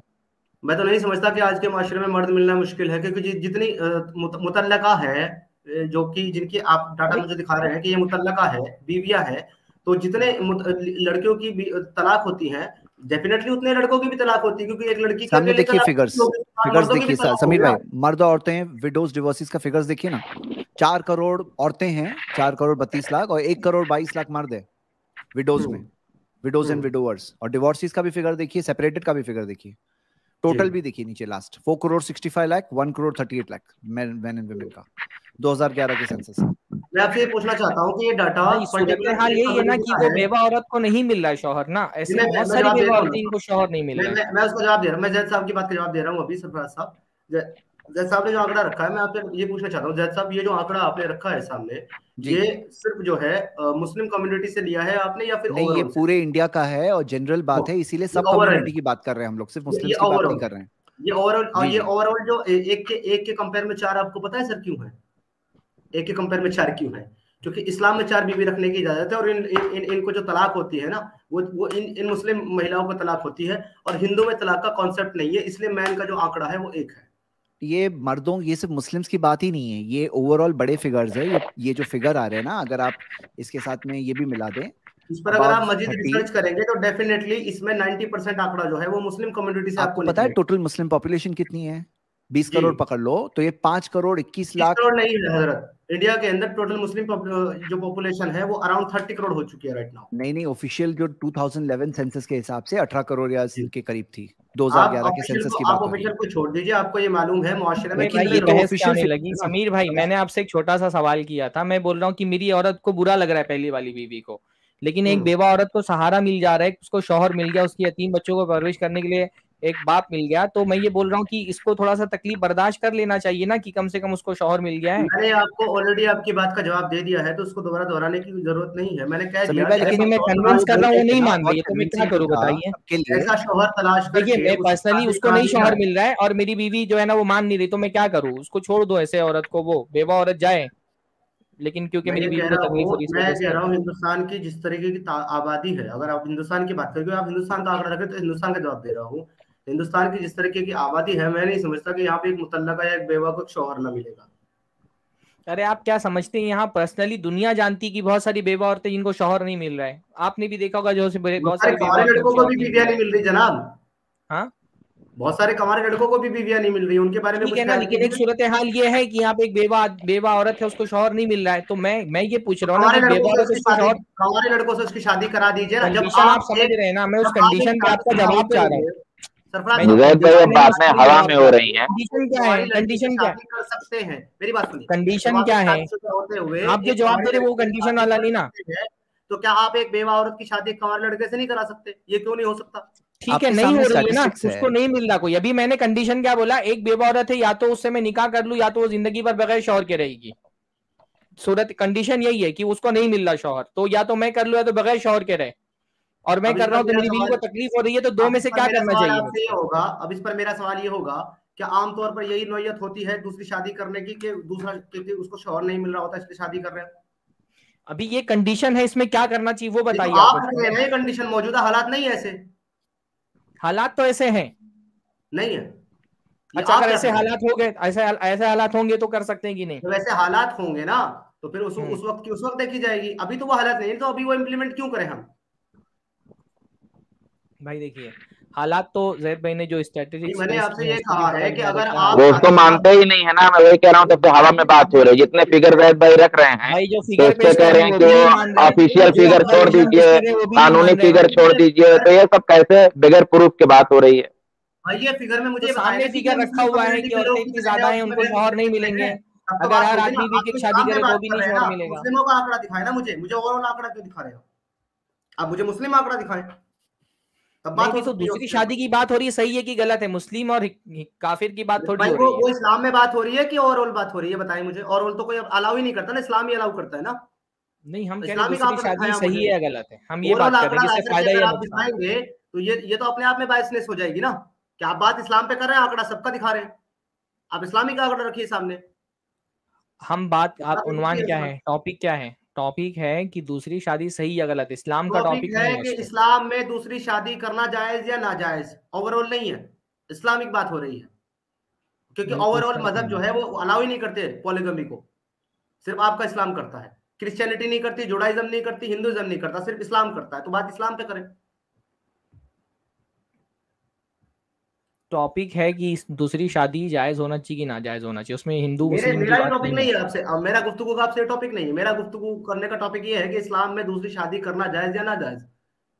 क्योंकि मैंने कह दिया आपको क्योंकि इस्लाम सिर्फ़ अलाउ करता है। नहीं तो आप मुझे दिखा दे क्रिश्चियनिटी के किसी स्क्रिप्चर से जुडाइज्म के और सनातनी के दूसरी शादी आप एक बीवी के होते कर सकते हैं। दिखा दे कहा लिखा हुआ है।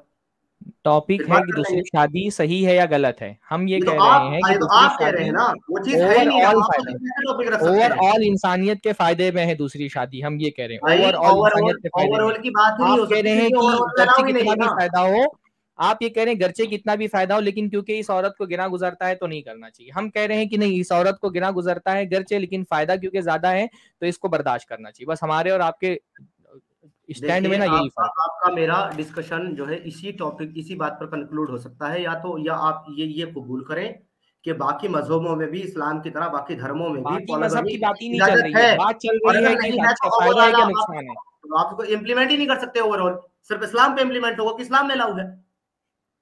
हम दूसरे मज़हब वालों को भी दावत देते हैं कि आप अपने यहाँ भी अलाउ कीजिए। वो नहीं करते। आप तो आप समझा रहे हैं इसीलिए तो सब इसीलिए तो चल रहा है कि अलाउ करना चाहिए। बिरयानी बनाई है मुझे बिरयानी खाता ही नहीं मुझे नहीं खानी आप ज़बरदस्ती खिलाएँगे। नहीं लेकिन अगर आप मरने लगेंगे तो हम आपको पानी पिला देंगे ना। नहीं नहीं पिलाएँगे आप मरते हुए मार ज़रूर देंगे क्योंकि मन शब्बा नबी यू फक्तुलू और मन बदला दी नहीं आप मरने लगेंगे अब औरतों को टॉपिक क्यों चेंज जहेज के लिए औरतों को जलाया जा रहा है ना। तो टॉपिक क्यों चेंज मुसलमान औरतों को जहेज के लिए नहीं जलाया जा रहा है। तो हर मज़हब की औरतों को जहेज के लिए जलाया जा रहा है पानी। बल्कि मरते हुए मेरा अरे क्यों? ऐसी गलत बात जलाया जा रहा है मुसलमान औरतों को जहेज के लिए नहीं जलाया जा रहा हर मज़हब की लड़कियों को जहेज के लिए जलाया जा रहा है। वो मसला पूरी इंसानियत का है और पूरी इंसानियत के और जहेज के और और और सिर्फ़ मुसलमान जो है ना वो अपनी टॉपिक से हट रहे हैं सब नहीं बोलेंगे आप क्या आप जहेज को लाकर मुसलमान जहेज का टॉपिक कनेक्टेड है इस टॉपिक बच्चियों को पेट में नहीं मार रहे। सिर्फ़ तो इस्लाम का मसला नहीं है। कहते हैं ओवरऑल हिंदुस्तान के कानून में हर मज़हब के मानने वालों के लिए इजाज़त होनी चाहिए क्योंकि जो प्रॉब्लम है दूसरी शादी नहीं होने की वजह से वो हर मज़हब के लोग फेस कर रहे हैं। तो क्योंकि हर मज़हब के लोग फेस कर रहे हैं तो हर मज़हब में इजाज़त होनी चाहिए। क्योंकि जहेज का मसला लड़कियों को पेट में कत्ल कर देने का मसला सिर्फ़ मुसलमानों के साथ नहीं है। मुसलमानों से ज़्यादा हिंदुओं के साथ है। तो हम ये कह रहे हैं इस्लाम का मसला है ही नहीं ये सोसाइटी का मसला है सोसाइटी में दो एक से ज़्यादा शादियों का रिवाज होगा जहेज की प्रथा खत्म होगी लड़कियों को जलाया नहीं जाएगा पेट में शुरू से अब तक भाग रहे हैं कभी आप बीच में जो है ना तो आप जब वापस जाकर के देख लीजिएगा टॉपिक से कम आप बीच में जो है ना फ़ायदा नुकसान ले आते हैं कभी आप बीच में अब ये दहेज ले आते हैं आप दस जगह वापस से घूम करके देख लीजिएगा कि फ़ायदा नुकसान की बात किसने की थी और नहीं इम्प्लीमेंट किया जा सकता खत्म होगी तो आप घूम करके देख काम करते हैं। नहीं करते सर ओवरऑल इसको। तो ओवरऑल जब अलाउ नहीं करते तो आप उस पर बात ही नहीं कर सकते सर आप सिर्फ़ इस्लाम पे बात करेंगे क्योंकि इस्लाम ही अकेला वाहिद ऐसा मतलब जो इसको अलाउ करता है। अल्हम्दुलिल्लाह। तो फिर आप उसका उसका रिकॉर्ड दिखाएँ ना मुझे इस्लाम का। मुझे आप सिर्फ़ मुस्लिम रिकॉर्ड दिखाएँ। तब बात हो सकती है तो साबित कर रहे हैं कि इस्लाम ने जो कहा है उसका फ़ायदा है। वो देखो सऊदी अरब में जहेज की प्रथा नहीं है सऊदी अरब में जहेज की प्रथा नहीं है बताया ना। देखो कितना फ़ायदा है सऊदी अरब में जहेज की प्रथा नहीं है क्योंकि वहाँ पर आदमी एक से ज़्यादा शादियाँ कर लेते हैं। जहाँ जहाँ पे मुसलमान एक से ज़्यादा शादी करते हैं वहाँ देखिए वहाँ औरतों को पेट में कत्ल नहीं किया जाता है। वहाँ जहेज की प्रथा नहीं है। मानते हैं तो सऊदी अरब तो अपने यहाँ नाच गाने के कॉन्सर्ट करा रहा है आप भी कराइए। वो मूवमेंट को ऐसा घूमते बहुत है आप यार। अभी आप बोल रहे हैं कि इस्लाम का दिखा हैं मैं सऊदी का एग्जांपल दे रहा हूँ। सऊदी अपने यहाँ राम मंदिर मनवा रहा आप बनवाइए ओ भाई साहब कहाँ घूम करके जा रहे हो? तुम दूसरी शादी की बात कर रहे हो ना तो हम बोल रहे थे दूसरी शादी का फ़ायदा सऊदी अरब में क्या है भाई कहाँ कहाँ घूम के मैं तो इनको समझता था कि ये ठीक ठाक कोई लॉजिक में आदमी बेसिक लॉजिक क्या थोड़ा सा ख्याल रख के बात करेगा कौन लॉजिकल बात कर है ख्याल है वो आम आम काम करते हैं एक काम करते हैं अगर इसको नहीं कबूल करेगी तो मेरे मुसलमानों का मिसाल दिखाओ दूसरी शादी में बता रहे हैं मुसलमान देखो सऊदी अरब में मुसलमान एक से ज़्यादा शादी करते हैं वहाँ जहेज नहीं होता है। अभी बता रहे हैं तो आप राम मंदिर वहाँ कहाँ चले मेरा मुद्दा नहीं है भाई। कोई कोई लॉजिक होती है। तुम्हारी बात में कहीं पे भी चले जाते हो। भाई दहेज मुसलमान मुआशरे का दिखाओ तो दिखा रहे हो मुसलमान मुआशरे का। तो राम मंदिर कहाँ चले जा रहे हो? My topic is polygamy not दहेज not dowry so don't divert my topic दहेज मेरा मुद्दा नहीं है भाई ना आपका मुद्दा है यहाँ पर। शादी का जहेज से मसला जुड़ा हुआ है। वो आप वो आप वो है जुड़ा हुआ जहेज से मुद्दा। वो एक दूसरी शादी दूसरी शादी का रिवाज होगा तो जहेज नहीं होगा ये हमारा ये हमारा ये हमारा ये हमारा दावा है कि दूसरी शादी का रिवाज होगा तो जहेज नहीं होगा। ये हमारा दावा है उसका फ़ायदा है। हम कहते हैं ओवरऑल फ़ायदा है इसलिए औरत को गिरा गुजरने गुजरने दो। मैं तो बेसिक अपने टॉपिक पे बात कर रहा हूँ। भाई मैं कहा टॉपिक से कहा गया हूँ? तुम कहा राम मंदिर और कंसर्ट कब जा रहे हो? अरे भाई मैं बोल रहा हूँ कि दूसरी शादी होने से जहेज का मसला खत्म होगा। सऊदी अरब में देखो वहाँ पे आदमी एक साथ शादी करता है इसलिए वहाँ पर जहेज नहीं है। वहाँ पेट में मर्दों को नहीं मारा जाता है। बेसिक तुम बोल रहे मुसलमानों को दिखाओ तो दिखा रहा तो अब तुम पता नहीं कहाँ कहाँ चले जा रहे हो। अरे ठीक है। दे पे अब मैं आपको अब मैं आपका जवाब दे रहा हूँ तो आप तहमुल के साथ बेवकूफ़ थोड़ी कि तुम कुछ भी बोलो जवाब भी तो सुनेंगे आप फिर एक साइड खुतबा देंगे। आप जवाब भी तो सुनिएगा। थोड़ा सा तहमुल और सब्र के साथ जवाब भी सुनिए। अब आप अगर इसमें, इस डिस्कशन में, अगर आप डोरी यानी कि दहेज को ले ही आए हैं और आप इसके लिए जो मुद्दा बना रहे हैं तो इसमें मेरा जवाब सुन लें। अगर आप पर्सनली मेरा ओपिनियन जानना चाहें तो मैं खुद, बजाते खुद, दहेज की जो प्रथा है, उसके खिलाफ हूँ, उसको कंडम करता हूँ और मैं ये कहता हूँ, ये माशरे से खत्म होनी चाहिए। यहाँ मैं आपके साथ खड़ा हूँ। लेकिन आज का हमारा टॉपिक जो है मेरे भाई, वो डोरी दहेज नहीं है। आज का हमारा टॉपिक है पोलोगमी और मैं एक और चीज़ बता दूँ आपको, आप इसको ओवरऑल किसी पर इंप्लीमेंट इसलिए नहीं कर सकते, क्योंकि सनातन कहीं भी या क्रिश्चियनिटी या जुडाइज्म कहीं भी अपने स्क्रिप्चर के अंदर ये नहीं लिखता कि आपको दहेज लेना ज़रूरी है। तो लिहाजा जो ये काम कर रहे हैं, वो उनका अपना इंडिविजुअल काम है, मज़हब इसको नहीं कहता। तो आप नहीं नहीं ला सकते उसको। हम बात यहाँ मजाहिब के तौर पर कर रहे हैं। हम यहाँ बात बात कानून के तौर पर कर रहे हैं। हम यहाँ बात इंडिविजुअल एक्ट पर नहीं कर रहे हैं। तो आपका ये मुद्दा ही गलत है। हमारा मुद्दा ये है कि सोसाइटी के अंदर लड़कियों की तादाद लड़कों से ज़्यादा है। अब जो एक्स्ट्रा लड़कियाँ बचती हैं, अगर हर आदमी एक एक शादी पर इक्तिफा करेगा तो बहुत सारी लड़कियाँ ऐसी बच जाती हैं, जिनको शौहर नहीं मिलता। तो अब क्योंकि लड़कियाँ ज़्यादा हैं और शादी के लिए मर्द कम है तो उसका उसका इस एक रिवाज ये बन जाता है कि भाई, सप्लाई ज़्यादा हो गई है, डिमांड कम है अब वैल्यू को बढ़ाने के लिए लड़की वाली ये बोलते हैं, एक लड़का है, उसके पास चार लड़कियों के रिश्ते आ गए तो एक लड़की वाली बोलते हैं कि मैं बाइक दूँगा, दूसरा बोलता है मैं कार दूँगा, तीसरा बोलता है कि मैं फ्लैट दूँगा। तो ये जो जहेज की प्रथा है, ये प्रथा डायरेक्ट जुड़ी हुई है पॉलीगेमी से। जब मर्द एक से ज़्यादा शादियाँ करने लगेगा तो इतनी ज़्यादा लड़कियाँ नहीं बचेंगी कि उनका निकाह नहीं हो रहा, उनको शादी कराने के लिए जहेज की वैल्यू ऐड करनी पड़ रही है अपनी लड़की के साथ। तो हम ये कह रहे हैं कि जहेज का मसला पॉलीगेमी से डायरेक्ट जुड़ा हुआ है। पॉलीगेमी होगी, एक से ज़्यादा शादियों का रिवाज होगा तो जहेज की प्रथा इनशाला ताला खत्म हो जाएगी। जहेज की प्रथा खत्म होगी तो जो लड़कियों को पेट में कत्ल कर दिया जा रहा है, बाहर अबॉर्शन सेंटर के बाहर बोर्ड लगा हुआ होता है, पाँच हज़ार खर्चा करो, पाँच लाख बचाओ। यानी पाँच हज़ार में बच्ची को सोनोग्राफी करके मार डालो, अगर लड़की पेट में तो पाँच लाख का जहेज का तुम्हारा खर्चा बच जाएगा।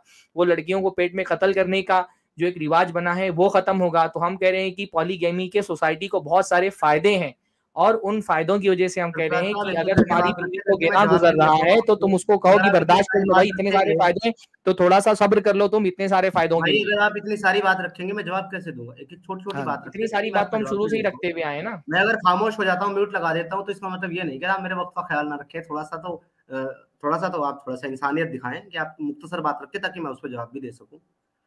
अभी आपने जो बड़ी बात बड़ी अच्छी बात की मैं तो उसको अच्छी कहूँगा क्योंकि आपके मुझसे अच्छी लगी मुझे। आपने ये कहा है कि डिस्कशन का एक टाइम फिक्स दस मिनट और जी मेरे ख्याल से ऐसा करते हैं। अभी मेरी ट्रेन ऑलरेडी छूट चुकी है साढ़े बारह की ट्रेन थी मेरी। जी जी। चले क्या मैं लास्ट बात करके निकलता हूँ। दस मिनट रखिए दस मिनट में बात खत्म करते हैं। नहीं दस मिनट भी चाहिए मुझे दो ही मिनट चाहिए उसके बाद आप डिस्कशन ओवर कर सकते हैं कोई मसला नहीं आपने जो भी ये बात कही है सरफराज फैजी साहब मोहतरम मेरे कि डॉरी होने की वजह से जो है, वो बहुत सारी बच्चियों के निकाह नहीं हो रहे हैं। पॉलीगमी इसका एक रास्ता है। ये मैं ये कह रहा हूँ आपको, पॉलीगमी को आप पूरी दुनिया के ऊपर लागू, नाफिज नहीं कर सकते, क्योंकि बाकी जो मजाहिब हैं, बाकी जो धर्म है, उनके जो बिलीफ हैं, उसके अकॉर्डिंग पॉलोगमी जो है, वो अलाउ नहीं है। ना तो कॉन्स्टिट्यूशन में अलाउ है दूसरे मजाहिब वालों के लिए और ना ही उनके अपने स्क्रिप्चर में। तो इस वजह से आप उसको इम्प्लीमेंट नहीं कर सकते हैं। अगर आप इसको इम्प्लीमेंट कर सकते हैं तो सिर्फ़ आप इस्लामियों पर इम्प्लीमेंट कर सकते हैं।